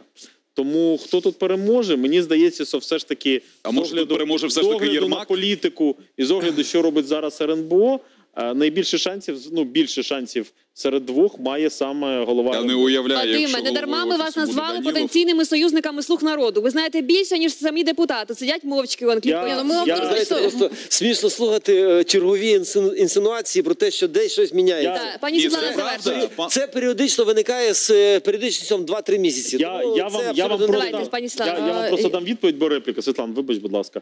А, 20 секунд. Ми просто досвідчені, і ми знаємо, в яких колах, скажімо так, розповсюджується ця інформація, і наскільки вона може бути правдивою, і наскільки ні. Тому ми можемо вже аналізувати. Я думаю, що мої колеги, коли трішки наберуться досвіду, вони теж, коли будуть відчувати цю інформацію, будуть знати, де можна отримати інсайдерську інформацію про ті чи інші речі. Я вам просто раджу, вам досвід це допоможе узнати. Спасибі, все-таки Світлана Не-не-не, завершує. Так, опыта пані не надо. Світлана. им и так. І слуги відреагують. тому що- А, У нас э, наш инсайт, мы не общались до эфира, он совпал. Ну, то есть это означает, что эти слухи, они не выдуманы, и как минимум в куларах они ходят. Чем они чреваты. Тем, что даже если это неправда, и об этом никто не говорит, то, как правило, иногда, раз уж такая информация пошла гулять, иногда она способствует созданию новых интриг. Ну, например, нашу передачу сейчас посмотрит Ермак. Оглянется по сторонам. Возможно, наберет Данилова. Возможно, организует встречу с э, главой СБУ, хотя я слышала, у них не очень хорошие отношения. Ни с, ни с, той, ни с тем, ни с тем. А, кто-то из них начнет плести интриги. Это все в итоге закончится каким-нибудь очередным разоблачением, пленками, что нам, журналистам, на самом деле очень нравится. Поэтому а, потом я, бы так не обвинят в обес- я бы так не обесценивала формат слухов. Они иногда бывают очень поворотными. И большая часть необдуманных, неосознанных решений, которые принимают представители нашей элиты, они возникают именно в тот момент, когда они расстраиваются на почве каких-то сплетен о себе или своей будущей карьере. Да, слухай Доповню пані Світлану. Ну давайте, давайте. Вам буде цікаво. Нам цікаво. А це теж інсайдерські інформації, до речі. Стосовно того, що Юлія Тимошенко заходить в коаліцію зі слугами. І буде прем'єром. Стосовно того, так, що коаліції ніякої не буде. Це факт. Залишиться монобільшість. Але точно буде переформатування уряду, можливо, з прем'єр-міністром України. Точно буде новий прем'єр. Юлія І Тимошенко. ось тут у нас з'являться а, кандидатури певних міністрів, і буде підтримка певних фракцій і груп. І тоді ми побачимо, хто реально буде, е, скажімо так, в неформальній, в непідписаній Всё коаліції вокруг да около. у зв'язку з е, кадровими голосуваннями. Ось і все. Апрель місяць. Це А Им просто вашу имеет в виду, информацию. что во время голосования за назначение новых министров и новый Кабмин нужны будут Ну, голоса, дивіться, я потому знаю, что наприклад, фракция з «Слуг» деяким полностью не групам проголосует полным составом. пропонують, пропонують И будет скажімо, реформу элементарный робити- договорняк Кабмин. Я знаю, що деяким групам пропонують реформу робити, наприклад, одній групі в трьох міністерствах. Зокрема, одне з них енергетики. Я не буду казати, які. Іншим пропонують щось інше. Але з огляду на те, що ніхто не може зрозуміти, хтось буде вести цю урядову команду, який же план дій, тому що коаліції потрібно представити громадянам України, який план дій нового уряду. Чи зміни будуть якісь соціально-економічної політики, чи не буде? Зеленського? Вадиме, Шмигаль не влаштовує. Зеленського. Я, я перепрошую, з усією повагою до батьківщини сидять два слуги народу. Ну, Зараз е, Просто коротко, Шмигаль- е, Шмигаль- пане Івченко, бо слухи все одно не розколяться. досить, Шмигаль досить сильно б'є по рейтингу Зеленського. Він обрушує його рейтинг у зв'язку з своєю бездіяльністю, е, плохою е, донесенням інформації до людей і велика недовіра. КМІС показав, не довіра тільки до прем'єра, навіть якщо його більшість населення не знає, 1,8%. Та що Тобто 98% самі слуги народу не довіряють. Да. Потрібно Давайте нове обличчя, Ми яке завершуємо кадрові собою да, нові, пане нові Чіпко, кадрові е, сплетні, скандали, інтриги, розслідування. Завершуємо Дивіться, ваша е, репліка. Вадим припускає, а я вам скажу точно. Путін помре, розумієте? І я точно це знаю. Я, Просто не знаю, я вже коли, думав, що ви інше скажете. Тому це точна інформація, да? З А щодо можливо, помремо колись. можливо, там е, створення коаліції та далі. Я скажу, що, наприклад, ну скажімо, з е, сусідів там недалеко сидимо в парламенті. Я помічаю, що, наприклад, у них, ну як кажуть, там доволі толкові да, люди, які чий досвід точно знадобиться і. і і тепер корисний для країни і в майбутньому. Так а чего вы их это правки поняли. сегодня не поддерживали? Е, Толковые правки были по земельному Подивися, будь ласка, голосування підніми, подивишся. Ні, я образно говорю про- голосування Давайте так, за їхні е, правки. Але пан тут- Георгій, вас влаштовує Шмигаль чи ні? На даний час у мене немає критичних якихось зауважень. Нормально, нього. нормально, Тобто, да? Стоп, Але стоп, я стоп, я працюю- по-іншому я працюю в спитаю. комітеті Якщо про молоді та голосування, спорту. ви голосували за програму уряду Шмигаля? Е, так, я голосував. Підтримували. Але е, я це теж публічно комунікував.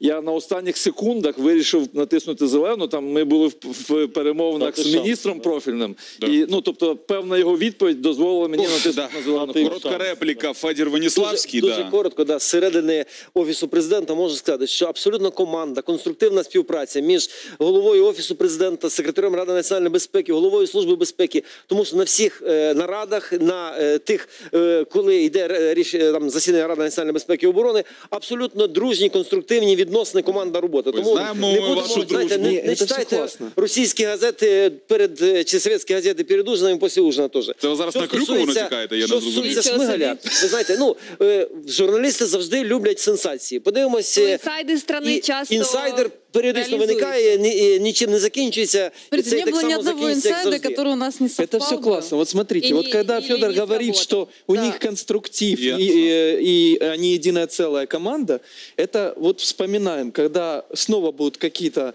э, скажем так, перекатывания мяча от Кабмина к офису президента, к- от офиса президента к парламенту или наоборот, Пан да? Поляков, ви на когда своєму прикладі вы знаєте, будете що деструктивні перекладывать елементи ответственность на залишають нашу Кабмин, команду. Кабмин Ви, на е, вас наочний или приклад. офис президента, вот тогда вот эти вот слова и пригодятся, что вы единый целый организм на самом Коментар деле. Світлани Крюкової. А, Я вам хочу сказать, что большая часть наших инсайдов а, различного характера, начиная от переписок из ваших, ваших внутренних чатов, заканчивая а, историями о депутатских зарплатах в конвертах, а, о которых мы регулярно пишем, и, как вы знаете, эта информация совпадает, мы ее получаем от конструктивных элементов вашей фракции, которые по-прежнему внутри фракции, и которые по какой-то причине Скажіть, будь ласка, а сообщают скільки нам. інсайдів ви виправдалося? Все. Про Збулися? конверти виправдалися. Не было ни одного, который бы не выполнил. Та ви говорили про те, що буде відставка Можете уряду. мені за теж року. розказати?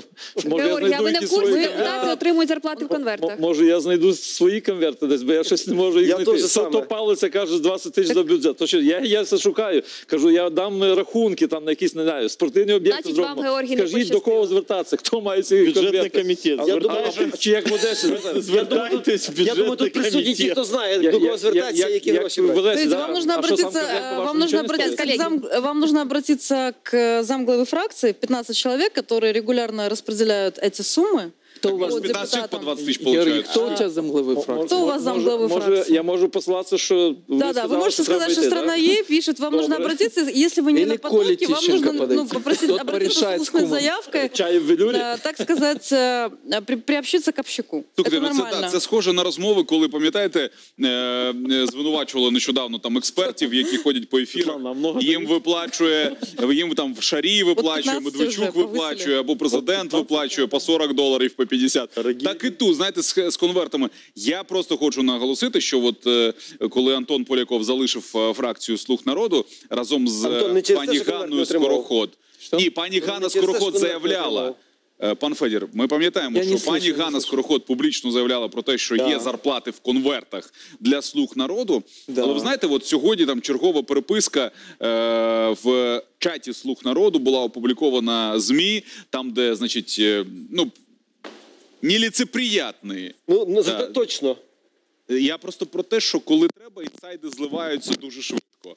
Якби дійсно за ці півтора року, е, ну я думаю, що от конверт з е, пачкою доларів, да, це ну це.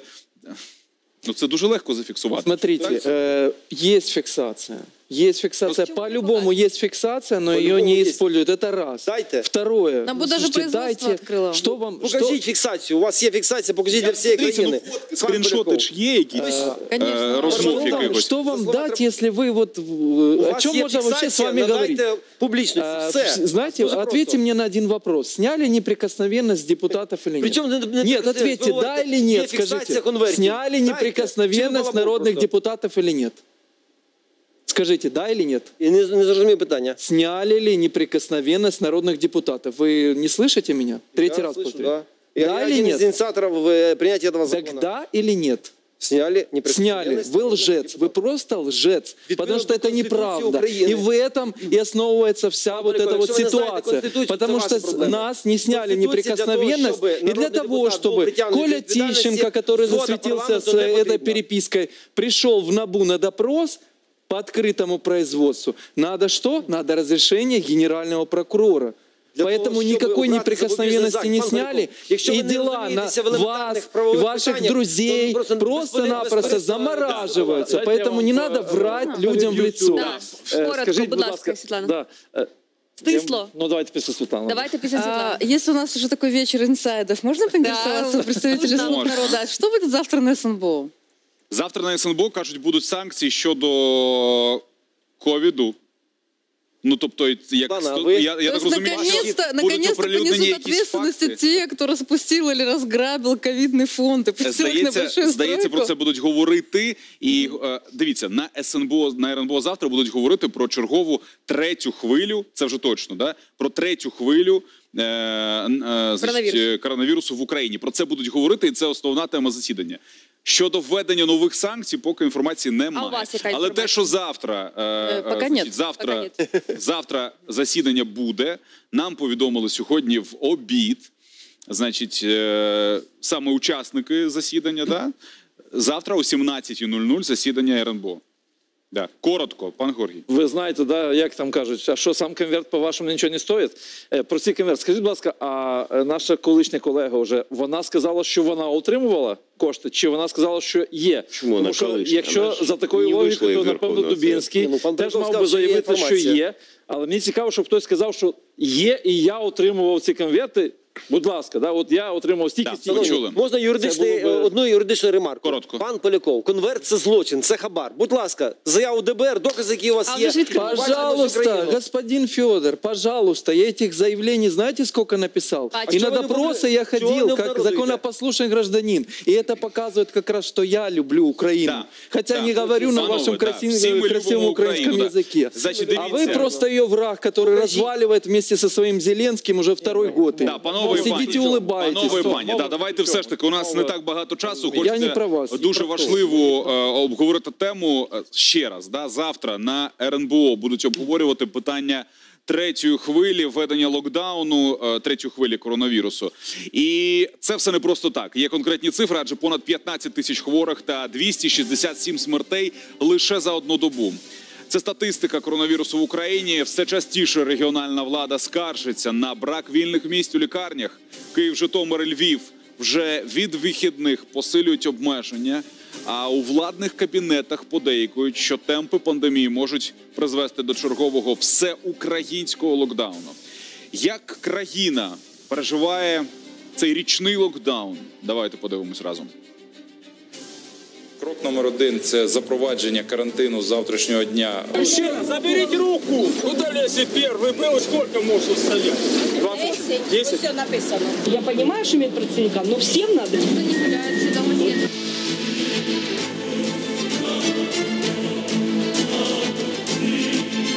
З 4 тисяч людей біля 20 у нас залишилось. Оце дороге е, гламурне гімно.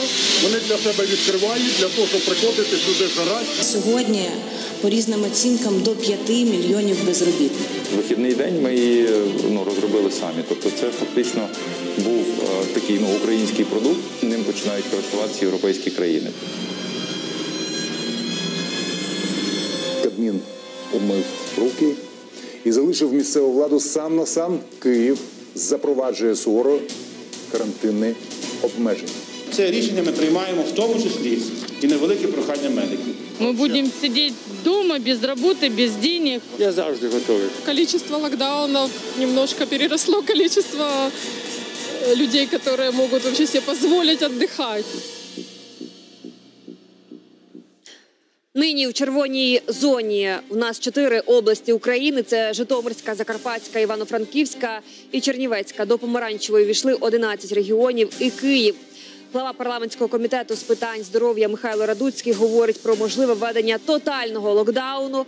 За його словами, це станеться, якщо понад 13 областей потраплять до червоної карантинної зони. Очільник мозу Максим Степанов має інший сценарій. Його послухає. Я не вважаю, що нам зараз е, потрібен загальнонаціональний е, жорсткий карантин. Якщо буде більше звернуто уваги саме до карантинних обмежень, які діють на території регіону, перше, щоб не допустити до червоного рівня. По-друге, якщо вже область перейшла на червоний рівень епіднебезпеки, дуже важливо повністю виконувати ті правила, які дає Міністерство охорони здоров'я. Через минулорічні обмеження багатьом підприємствам довелося скоротити кількість співробітників чи урізати зарплатню. Частина українського бізнесу взагалі закрилася.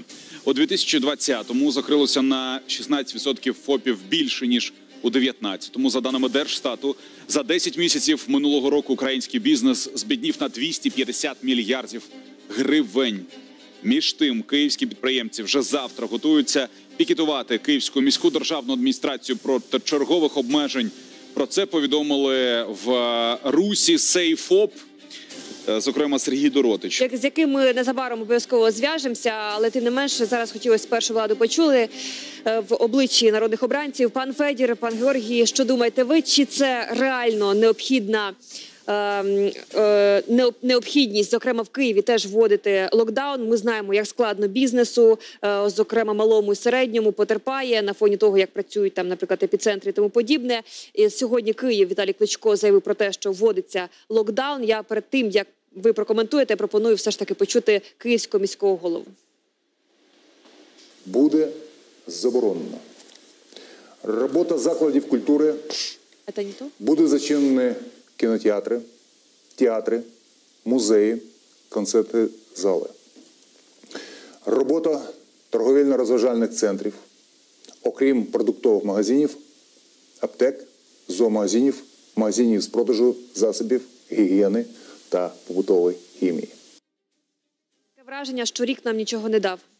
Ну е, насправді ситуація в Україні вона не є якоюсь унікальною з точки зору навіть європейського Ой, континенту. повірте, вона унікальна. Ні, вона не унікальна, тому що е, в- розвиток цього коронавірусного е, валу е, інфекцій він є непрогнозований навіть в тих країнах, де рівень вакцинування дуже високий. Все одно ми спостерігаємо аналогічні приклади, коли країни вводять жорсткий лок- жорсткий карантин. Дивіться, Ізраїль, до прикладу, фіксує зараз мінімальну кількість смертей від ковіду. Тому що Ізраїль Тому це що у них єдина країна, 90, майже 90 відсотків. Тому що люди підготувалися до вакцинації, а не те, що Ну, ми. давайте не зрівнювати е, рівень розвитку Ізраїлю України з точки зору економіки, але з точки зору тих заходів, які вводять органи місцевої влади, в даному випадку все абсолютно логічно і закономірно. Вони діють відповідно до тих викликів і до тих загроз, які виникли. Да, Світлано.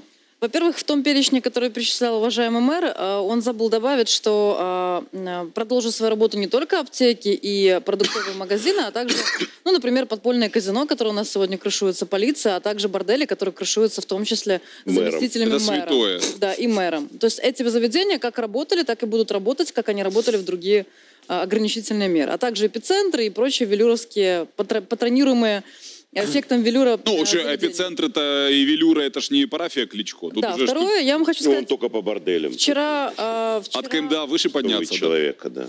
Да. А, Это отдельная тема.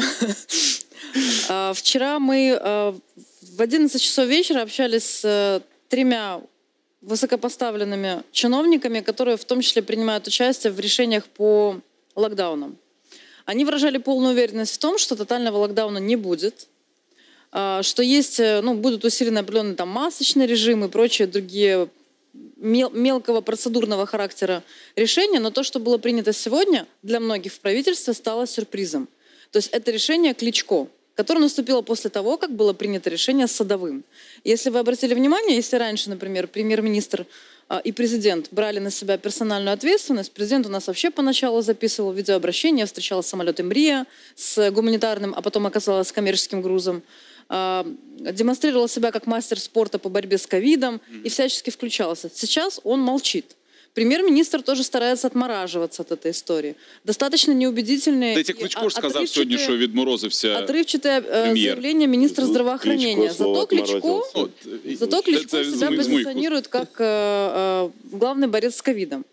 И э, вот нам сегодня э, рассказали интересную информацию о том, что, э, если вы знаете, сейчас э, есть у нас такая ассоциация городов, э, ну, такой представительский орган, э, вокруг Местного которого регулярно борются разные мэры за право возглавить этот Ну, орган, Кличко который очолює, сейчас да. возглавляет Кличко. У них в ближайшее время будет переназначение, то есть у них там большой конкурс, Садовой ре- претендует на эту должность и Кличко претендует на эту должность. И многие в Кабмине и в окружении Кличко сейчас считают, что этот выход, который случился, непрогнозируемый, неанонсируемый. Обратите внимание, они, обраща- они раньше обещали подобные э, вещи вводить с анонсом в две недели, для того, чтобы у бизнеса был временной лаг подготовиться к оптимизации. Світлано, да, здається, ч- саме через це е, підприємці збираються виходити і пікетувати вже завтра київську мерію. Сергій Доротич з нами на зв'язку зараз. Да, громадський діяч, лідер руху Сейфоп. Добрий вечір. Вітаємо вас. Доброго здоров'я. Сергію, для вас я так розумію, що як і для всіх нас стало повною неочікуваністю заява кличка стосовно закриття стосовно локдауну. Як будете діяти, Сергію? Це розкажіть докладніше про акцію. Це буде безстрокова акція. І які основні вимоги, що хочете?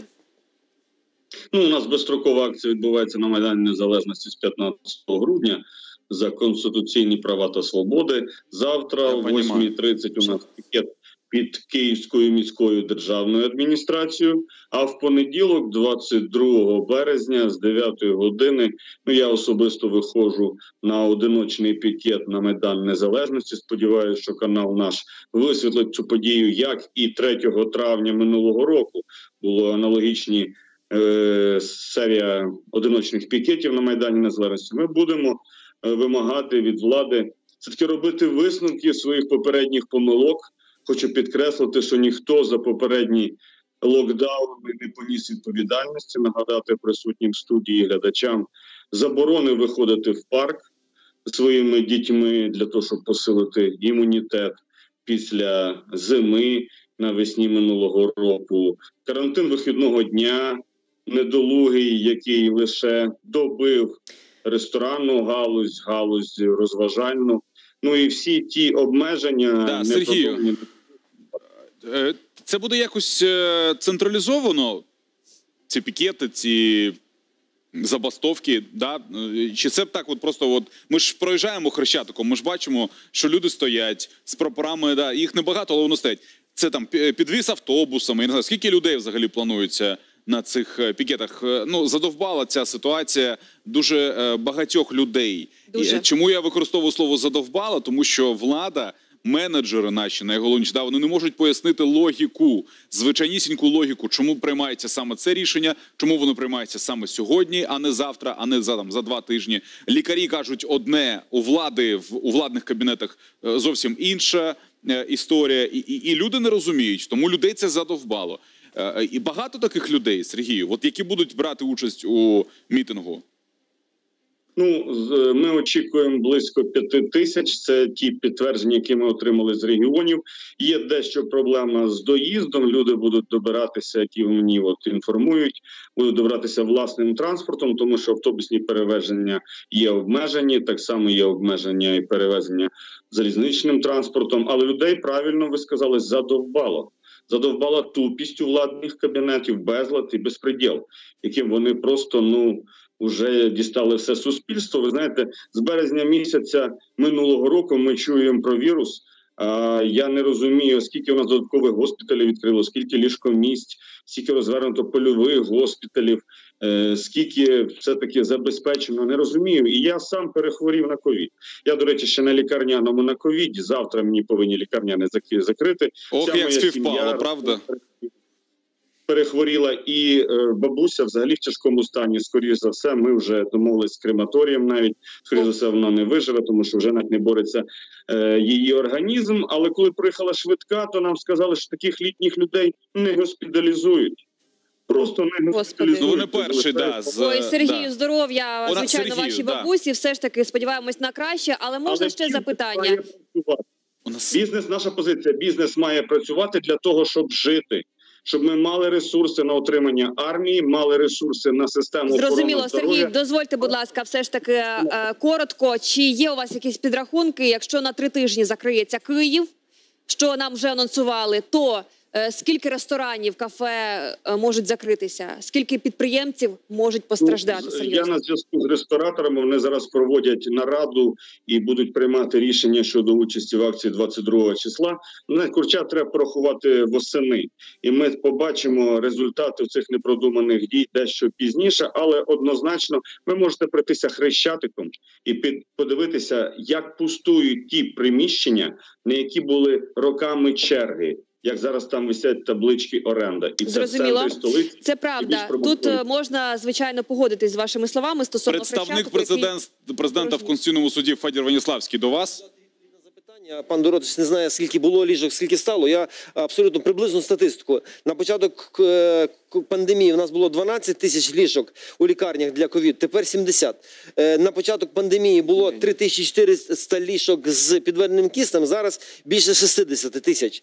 Тобто в даному і е, саме головне, ви ж повинні розуміти, що на момент е, пандемії в нас була зруйнована система взагалі тестування. Проводилося 200 тестів в Україні на, на добу. На сьогоднішній день 90 тисяч проводиться. Тобто в в Україна, ще раз підкреслюю, не є якоюсь унікальною, тому що подібні мирні масові заходи вони відбуваються у всіх країнах Європи. І коли мова йде про якісь обмеження, а для влади очевидно пріоритети, коли мова йде про життя і здоров'я і про інтереси бізнесу, то я думаю, для всіх очевидно, що життя і здоров'я на першому місці. От Тобто все. ви все-таки за рішення кличка закрити Я Київ? думаю, що якщо влада вважає, що є конкретні загрози для життя і здоров'я людей, а в даному випадку це о- очевидні загрози, тому що кількість хворих е, дуже різко збільшується. Ну, Світлана Треба каже, що вводити не обмеження. прокомунікована була ця історія, що для багатьох в кабіні це стало несподіванкою. Тому я вас і питаю, Федір. Це у межах повноважень місцевої влади, тому тут А не може можливо, бути для просто Кабміну пан якимось Кличко чином. готується до майбутніх президентських виборів. Та ще Світлана Крюкова, а потім Э, Да, прокоментуйте. смотрите, я просто объясню, почему э, кому-то эта история болит, а кому-то нет. Э, Бизнес у нас очень чувствительный, э, и тот бизнес, который сейчас э, остался э, фактически без анонса со своими проблемами один на один, э, я вас уверяю, он не только сократится по всем отраслям. А, Они, э, это конкретно переломает многие структурные, структурные рынки, начиная от отельного бизнеса, заканчивая ресторанным бизнесом. Это первое. А Второе, обратите внимание, когда вводился первый локдаун, а, была очень интересная мера, а, когда многих топ-чиновников, вообще чиновников, а, штраф, ну, фактически штрафовали или им сокращали зарплаты до момента, пока не закончится локдаун. Хотя, с моей точки зрения, их должны были удерживать в этом низко, низкой оплате труда до момента, пока а, не будут выров- выровнены, э, не выровняются экономические показатели по многим секторам. Потому что они несут ответственность за те решения, которые они принимают. Сейчас этого нет. Почему? То есть почему бы, например, народных депутатов точно так же на период локдауна трех-трехнедельного не то чтобы оштрафовать, а ограничить в выплатах? Тогда бы они, наверное, немножко иначе по- поки що депутатів, тех депутатов, дивіться, з которые не 20 получают зарплаты в конвертах. Живо тревожит меня. 29 березня, якщо не помиляюся. вопрос. да? Можно? Да. А, помнится мне, а, Виталий Владимирович, а, собрав свое лицо в попытку создать что-то умное, заявил, что город Киев закупит миллион вакцин. Вакцин. Виталь, ты чё?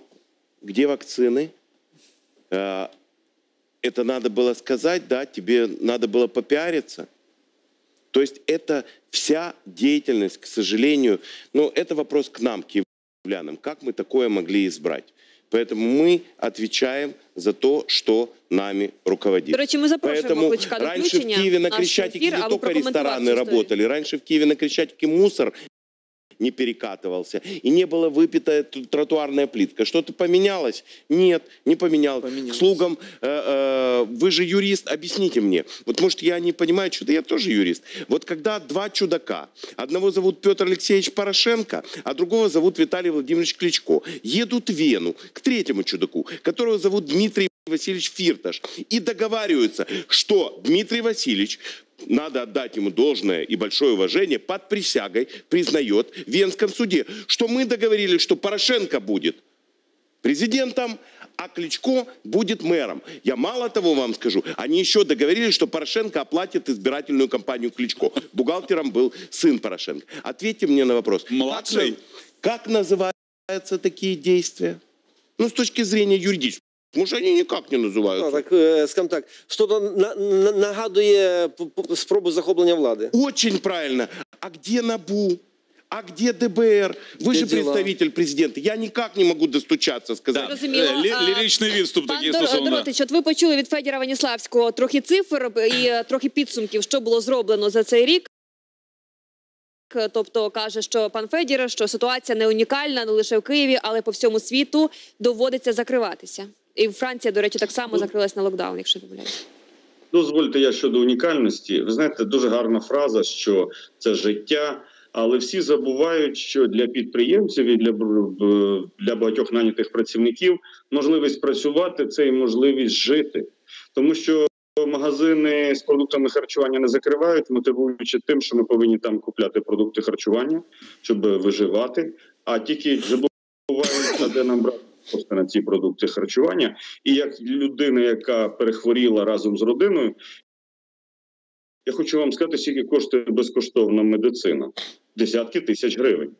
Десятки тисяч гривень, які треба десь взяти е, мільйонам підприємцям, мільйонам нанятим працівникам, яких зараз залишають без роботи і очікуючи чогось. Я тут погоджуюсь з пані ведучою і е, виступаючими в студії, що було б логічно, якби вся держава пішла на локдаун, на карантин. В першу чергу державні службовці своїм особистим прикладом принаймні носили маску в публічних місцях, а не так, що вони ходять е, як е, наш е, головний санітарний лікар по площі конституції, коли ми там протестуємо разом з своєю заступницею.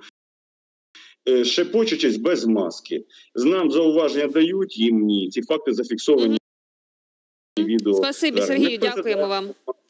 не отримують заробітну плату, е, а ми не отримуємо дохід. Почули вас. Спасибі, так. Сергій Доротич з нами був на зв'язку, громадський Але діяч. Сейфо. 500 тисяч чоловік отримали від держави по, по 8 тисяч Ну гривень. це що, це порятунок? Э, Федір? э, Я Вибачте не мене, согласен але це рівень, полностью. який Полностью держава не для себе согласен. змогла А вы не хотите сказать, У нас что 500 сьогодні тысяч Спасибі, человек, вот Сергію, именно, дякуємо. не Далі оперуватиме вже предприниматели, Антон Поляков. Це отримали підприємці і не наймані предприни... працівники. Вот вы врете, вы снова врете. Потому что из этих 500 тысяч людей очень много было бюджетников. Бюджетников, не ФОПов. И Сергей, если бы он остался на связи, это подтвердил. Поэтому не надо тут врать. Вы еще бюджетникам раздали, как это делала предыдущая власть, чтобы Поляков, чуть-чуть ви конфликт. себе чуєте, чи Понимаете? А то, ні- что вы я ні слова не предприниматели сказав про те, выбрали що только бюджетники не несколько отримували. кведов и все, а всех остальных. А сейчас вы будете во время локдауна снова по 8 тысяч будете раздавать? В залежності Как вы від того, поддержите які будуть можливості предпринимателей? держави. Подивимось. Пан Що? Поляков, Подивимося. Ні, краще ви ще 10 мільярдів виділите і купите нормальну вакцину. Да, е, Георгій. Е, Я з Чернівецької області, да, з червоним там. И может быть, я колером. прошу прощения, Ага. Герой, Вот, до речи, и у нас может быть у нас прекрасная карта экономическая карантинизм ситуация в хуже, Украине. чем в других странах, но для этого выделялись Пан Поляков, миллиарды Для мене очевидні долларов, пріоритети. Життя да, і здоров'я людей. которые потратились на что? Я на не что знаю, на що потратились? потратились. На дороги, которые сейчас Да. уже Почули, да, е, Георгій. Так, і е, попри наші якісь там суперечки з тим же Сергієм, я, наприклад, з- згідний з ним, і у нас збігається, що, наприклад, протягом цього всього періоду я, наприклад, як е, представник комітету молоді спорту, в тому числі звертався з пропозиціями щодо е, на початку, що це справді було нелогічно не, не пускати в парки, тому що я знаю точно, що ми працюємо на стороні медиків, та тобто оздоровлюючи. Але е, і, я так само виступав завжди за е, точечні да, обмеження, тобто для того, щоб не, не зупиняти бізнес, а лише е, е, посилювати відповідальність за дотримання тих е, карантинних вимог. Але е, разом з тим я. Довіряю лікарям і медикам, і знаєте, у нас навіть в нашому е, регіоні змінилася дуже риторика деяких там таких публічних людей, там Василь Забродський чи інші, які після того, як перехворіли, побули під маскою, вже дають інші зовсім ці меседжі вже кажуть, знаєте, звертаючись, наприклад, до Калинського ринку, люди, подумайте, це дуже. От він каже, я, я лежу там чотирьох в реанімацію, двох потім в морг. Ну, тобто, і це дуже сильно б'є. Ні, ні, пане Георгій, ми зараз не говоримо про реакцію людей. Ми зараз говоримо про дії влади. Як цьому запобігти? про результат. Давайте я скажу, Про результат, який ми маємо у висновку. Давайте я скажу ще, тому що е, я не голосував за е, міністра Степанова. Ну це моя особиста у нас демократія в фракції. Бачите, не, і, але. Е, Антон, не, не смійся, тому що ж реально підніми. Да, мы голосування. знаем, какая у вас демократия. Під- підніми.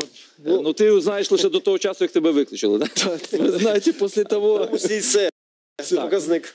Е, і у мене завжди я задавав запитання і на уряді, коли був, і, і в парламенті. Я дуже хочу, щоб ми, як влада, спілкувалися реалістично з суспільством. Так?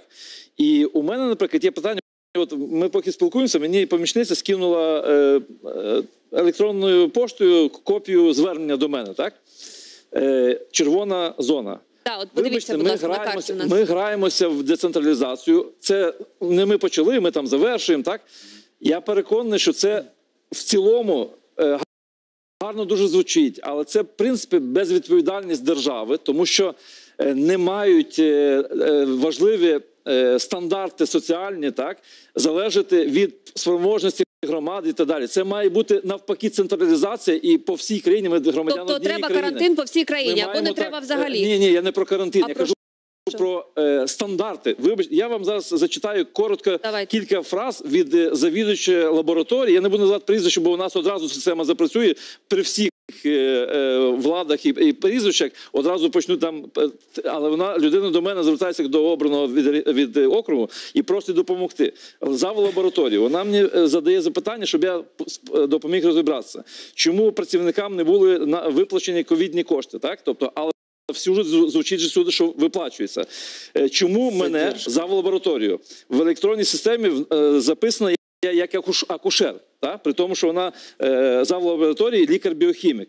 Чому без поважної причини і ніякого офіційного наказу скоротили е, восьмерих середніх лаборантів, двох лікарів і одну молодшу медсестру? Розумієте? Тобто, і це відбувається зараз в Чернівецькій області, в області, яка Ми, до речі, з Житомиром зараз зв'язуємось. Там насправді теж критична ситуація. До кінця тижня кажуть, вистачить ліжок, е, а вже далі немає місць, немає куди класти хворих. На коронавірус до чого це може призвести? Ми буквально за мить е, з'єднаємось е, з житомирським лікарем і Але- це з'ясуємо. Да, але у нас е, є ще інформація. Е, прекрасно розуміємо і спостерігаємо за фактично істерикою в Європейському Союзі. Більш ніж 20, 20 країн світу е, поки призупиняють вакцину AstraZeneca щодо вакцинації своїх громадян. А от Європейське агентство з лікарських засобів визнало саме цю вакцину безпечною для подальшого використання. Про це заявила виконувачка, е, виконавча е, директорка цієї агенції і додала, що агентство продовжить проводити дослідження для подальшого розслідування. Почуємо. Це безпечна та ефективна вакцина. Переваги у захисті людей від COVID-19 і пов'язаних з ним ризиків смерті та госпіталізації перевищують можливі ризики від вакцини. Комітет також дійшов висновку, що препарат не пов'язаний зі збільшенням ризику утворення тромбів. Нагадаю, напередодні від AstraZeneca через ризик утворення тромбів відмовились понад 20 країн. Зокрема, це Німеччина, провідні, на які ми дивимось. Італія, Франція, от, наприклад, Канада і Велика Британія продовжують вакцинацію. Вони спираються на рекомендації Всесвітньої організації охорони здоров'я. Водночас в Україні чекають на вакцину Pfizer. Про це заявив е, Центр громадського здоров'я.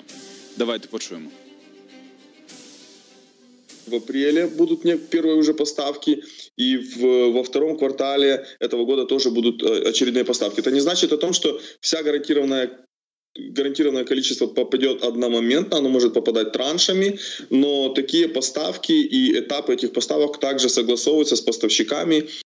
Які там транші, я тільки не можу зрозуміти, враховуючи те, що лише 117 е, тисяч доз по дві дози на людину, 60 тисяч е, тих, хто зможе отримати цей Pfizer, і поки що не зрозуміло хто. З'явилася інформація про те, що буквально тиждень через другий вакцину будуть проходити депутати Верхов... е, вакцинування будуть проходити депутати Верховної От, Ради. до речі, цікаво одразу Може, якраз таки жару спитати в самих депутатів. депутатам, їх родичам дістанеться якісний Pfizer. Що ви про це чули, пан Федір? Я чув про те, що дійсно буде е, поставка Пфайзера, а з приводу вакцинації народних депутатів від вас чую вперше. А ви Так, за чи з'являлася інформація, будете що- ковішилдом вакцинуватись, вибач? Е, я перехворів е, хворобою, тому у Це мене не за це не зайве буде. на даний момент ні, на даний момент я не потребую вакцинації. Мені сказали. Яка гарна відмазка, пан Вадим, а ви? А, я не хворів. І не буду. Я не вакцинувався. Але будете, якщо ковішилд вам запропонують? Е, Ковішилдом не буду. Чому? Але знаю, що багато депутатів вже ковішилдом вакцинувалися. Ах, ти з- я, я, я перепрошую, в рамках якої черги це все відбувається? От я теж, я теж завжди задаю питання, мені дають наступну відповідь. Ми зареєструвалися в дії, і ті вакцини, які не використали, нам, як Депутатам. громадським діячам, Нічого. е, лю- людям, які е, Public Important Person нам запропонували вакцини. А потім дізнаєшся, що вони вакцинували ще своїх батьків, родичів і так далі. Ну, от така де. Клас. Ну, українська традиція. А Да. ковішилдом не будете, бо у вас нема довіри до цієї вакцини, до якості. Чи через тромбоз, чи через що? Ні, я ви знаєте, я завжди щиро і відверто а, ну, веду свою там політику, і я точно зареєструюсь в дії і точно дойду свою чергу. Якщо вона буде у мене там в листопаді, то це буде в листопаді. Тоді, коли дійде ця черга, і там, де це буде, щоб е, пройти всю цю процедуру, бо всі вакцини, в принципі, плюс-мінус по ефективності будуть нормальні, але більш ефективні, звичайно, ну на мою думку, це ну і не хочу їх рекламувати. Це ще ті вакцини, які, які прийдуть ще в Україну. А що там рекламувати? Спутник, да? чому не охоче вакцинуються? Але але Пані, відверто, панове, відверто панове. скажу, відверто скажу, що Спутник з- ну одна із тих вакцин, яка а, сьогодні все набирає, набирає обертів по вакцинуванню в світі. Вадиме, тобто ви вакцинувались би спутником, але не вакцинувались би ковішилдом. Я Ні, вас він правильно сказав, зрозуміла? Коли дійде черга, яка буде тоді? Я тоді сказав, коли йде черга, Яка яка буде, буде вакцину і буду вакцинуватися. До речі, з бо кожна приводу вакцина того, що в вона нас в оберігає, регіонах. дає антитіла, в принципі. Не, не, в- да, я от... Чи вакцинува... е, вакцинуються нас лікарі? Чому так неохоче? Зараз з'ясуємо. І е, ми анонсували про те, що у нас на зв'язку буде Житомир.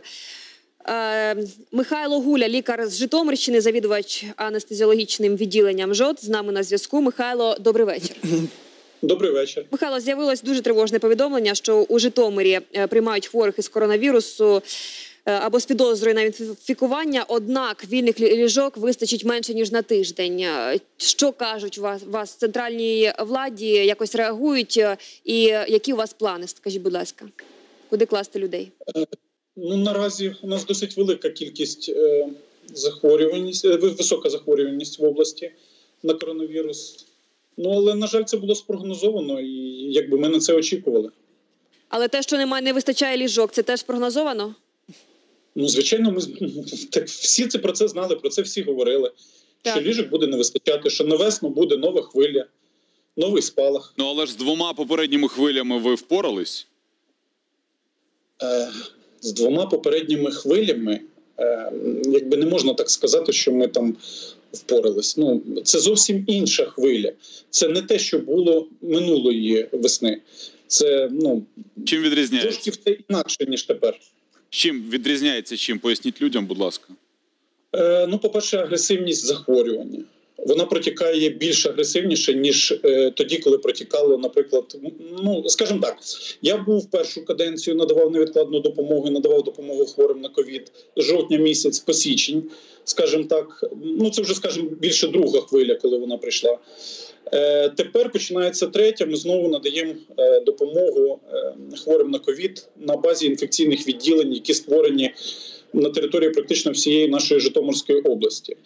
І дійсно є велика кількість людей, яких на сьогоднішній день прийняти на тому ліжковому фонді, який був залучений до лікування цього захворюваності, ми не можемо в тому об'ємі, тому що кількість людей зростає. Є, звичайно, ті, які одужують, але їх зазвичай набагато менше, ніж тих, які поступають на сьогоднішній день. Тобто, Михайло, ми правильно зрозуміли, що якщо через тиждень ситуація не зміниться, то ви будете нас буде відмовляти коронавірусним у шпиталізації. ліжковий фонд. Ви правильно зрозуміли, що Ну, буде більше ніж 90%. І вихід, ну просто Нема буде виходу, заповнений ліжковий фонд. Ми пам'ятаємо, як в Америці і в країнах клали. Європи, да, в Італії. Ну то- це, це ж був жах. Тобто ми зараз на межі цього жаху, коли Ну, до чого в коридорах Європа на, і на... Італії. Ми говоримо зараз про нашу країну, ми не говоримо про країни Італії. В даній ситуації ми говоримо про нашу область. Я вам просто кажу ситуацію, яка склалась. Внаслідок неорганізованості, в тому числі і нашого вищого керівництва, яке до цього допустило. Що Все. говорить голова облдержадміністрації? Чи е, був зв'язок з е, е, урядом? Ну, от До чого тут голова облдержадміністрації? Ну, Голова облдержадміністрації перша людина від президента в області. Те, що робиться в країні. Окей, тобто це це міністерство, пан Михайло, ми правильно вас зрозуміли. Це в першу чергу Міністерство охорони Це в, здоров'я. першій, в першу чергу це провал міністерства, це в першу чергу провал нашого санітарного лікаря Ляшка. Це чисто їх проляпсуси, починаючи з вакцинації і починаючи до підготовки до третьої хвилі на ковід. Ну, ляп це ніхто м'яко нічого не зробив, сказано. ніхто нічого не організував, не були закуплені не апаратура, не були розгорнуті ліжка там, де можна було їх розгорнути. Ну то й що, що в нас в Житомирській області є куча лікарень, там де можна лікувати хворих на ковід. Це нічого Та, не Михайло, міняє. Михайло, у ваші претензії- обладнання, медикаменти, обучений персонал. Цього ніхто у нас був час підготуватися. Цього ніхто не зробив. Михайло, вас зараз Ну, чують в що- студії. на- Вас вчу, вчу, вчують в студії Слуги народу, зокрема представник президента в конституційному суді Федір Ваніславський. До вас хочу звернутися. Так, у мене одне питання, пане Михайле. Скажіть, будь ласка, скажіть, будь ласка, а станом на минулу весну, коли розпочалася пандемія, і станом на зараз, однакова кількість, кількість ліжок для ковіднохворих з киснем і так далі? Чи воно і- має якусь відмінність? Звичайно, воно має відмінність на сьогоднішній день, після другої хвилі, кількість ліжок з киснем набагато більше ніж та, що була на першій хвилі. Але давайте будемо об'єктивними. На першій самій хвилі е, восени можна було порахувати хворих на ковід на пальцях однієї руки. А на сьогоднішній день по 1300 е, підтверджених верифікованих випадків е, захворюваності на коронавірус. Це підтверджених. І Це ті, шпиталізації які більше. мають ІФА. А можна в цифрах, скільки було ліжок для ковіднохворих навесні минулого, в березні 2020-го і сьогодні? Ну наразі мене ніхто не просив підготувати такі дані. Ні, ну, я вам не плюс-мінус, у вас є сказати, інформація? Там двічі, втричі, а можливо Приблизно. там піврази. Я навіть приблизно Ну це від, відрізняється в два рази чи в 10 разів. Так а Нема приблизительно вы якщо хворих більше теж не вистачає ліжок. Тому пан Михайло тут е, все нормально. У мене дивіться, я вам просто хочу, типу, до чого я вам веду. Кількість ліжок, кількість ліжок, які можна розгорнути, і навіть та кількість ліжок, які підведені там, наприклад, є кисень, да, їх зробили. Вони були ще готові до другої хвилі, і вони їх кількість зберіглась. Питання стоїть в тому, що на сьогоднішній день тої кількості, яка була, їх недостатньо. Спасибі, Михайло. Ще дуже важливе запитання наостанок. Е, Чи вакцинувалися ви? Чи була пропозиція? Да. чи збираєтесь? Яка да, я ситуація з особисто вакцинуванням? вакцинувався. Вакцинувались, так? Звичайно, я Довіряєте? відділенні. У мене є сім'я, у мене є діти, у мене ну, дружина, у мене є друзі, які мене оточують. Я не хочу принести. Ну я за захист, я свідомий громадянин своєї країни. Але е, Михайло подейкують, що дуже багато ваших колег, ну, ну конкретно ваших, мається на увазі по професії, відмовляються, тому що не довіряють якості ковішилду. Ну вони знаєте, як науськали, хтось їх науськав, і прямо так і заявляють: ну ми перехворіли, тому нам нічого. Значить, дивіться, я вам дуже коротко скажу. Е, Тут знову ж таки винувате наше вище керівництво. На початку нам обіцяли, що це буде файзеровська вакцина. Е, Створювали списки. Е, Тільки в нашій області на списках було 12,5 тисяч чоловік. Коли дійшла справа до дійсно, яку вакцину закупили, нам ніхто нічого не пояснив, не розповіли типу, про цю індійську вакцину. Відповідно, більша кількість людей відреагувало негативно на це, і в списках залишилось 900 чоловік. Ого. Від початку вакцинування, а це практично вже місяць. У нас іде вакцинування дев'ятьма мобільними бригадами. Вакцинувалось в нашій області 1700, е, ну, щось біля цього типу людей. Для нашої області, для нашої кількості тільки медичного персоналу, а це більше 15 тисяч чоловік. Це, це ніщо. Це копійки. Замість того, щоб передати цю вакцину на місця, на департаменти охорони здоров'я, які би провели роз'яснювальну роботу з персоналом, які би пояснили, що це за вакцина, які би дійсно змогли би це провакцинувати, ця вся справа пущена на саму. Ну як вона ну ніхто цього не контролює. Почули вас, Далі, почули. Замість того, щоб дійсно тих людей, які хочуть вакцинуватися, вони не можуть потрапити в е, ці списки.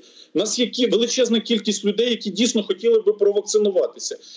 Кількість людей, які працюють в медицині, але налякані, того що ви ж самі ж журналісти. Постійно нагнітаєте. От навіть ви зараз от виступаєте, і ви кажете, там ми не будемо вакцинуватися тим, що нам зараз привезли. А звідки ви знаєте, що нам привезли?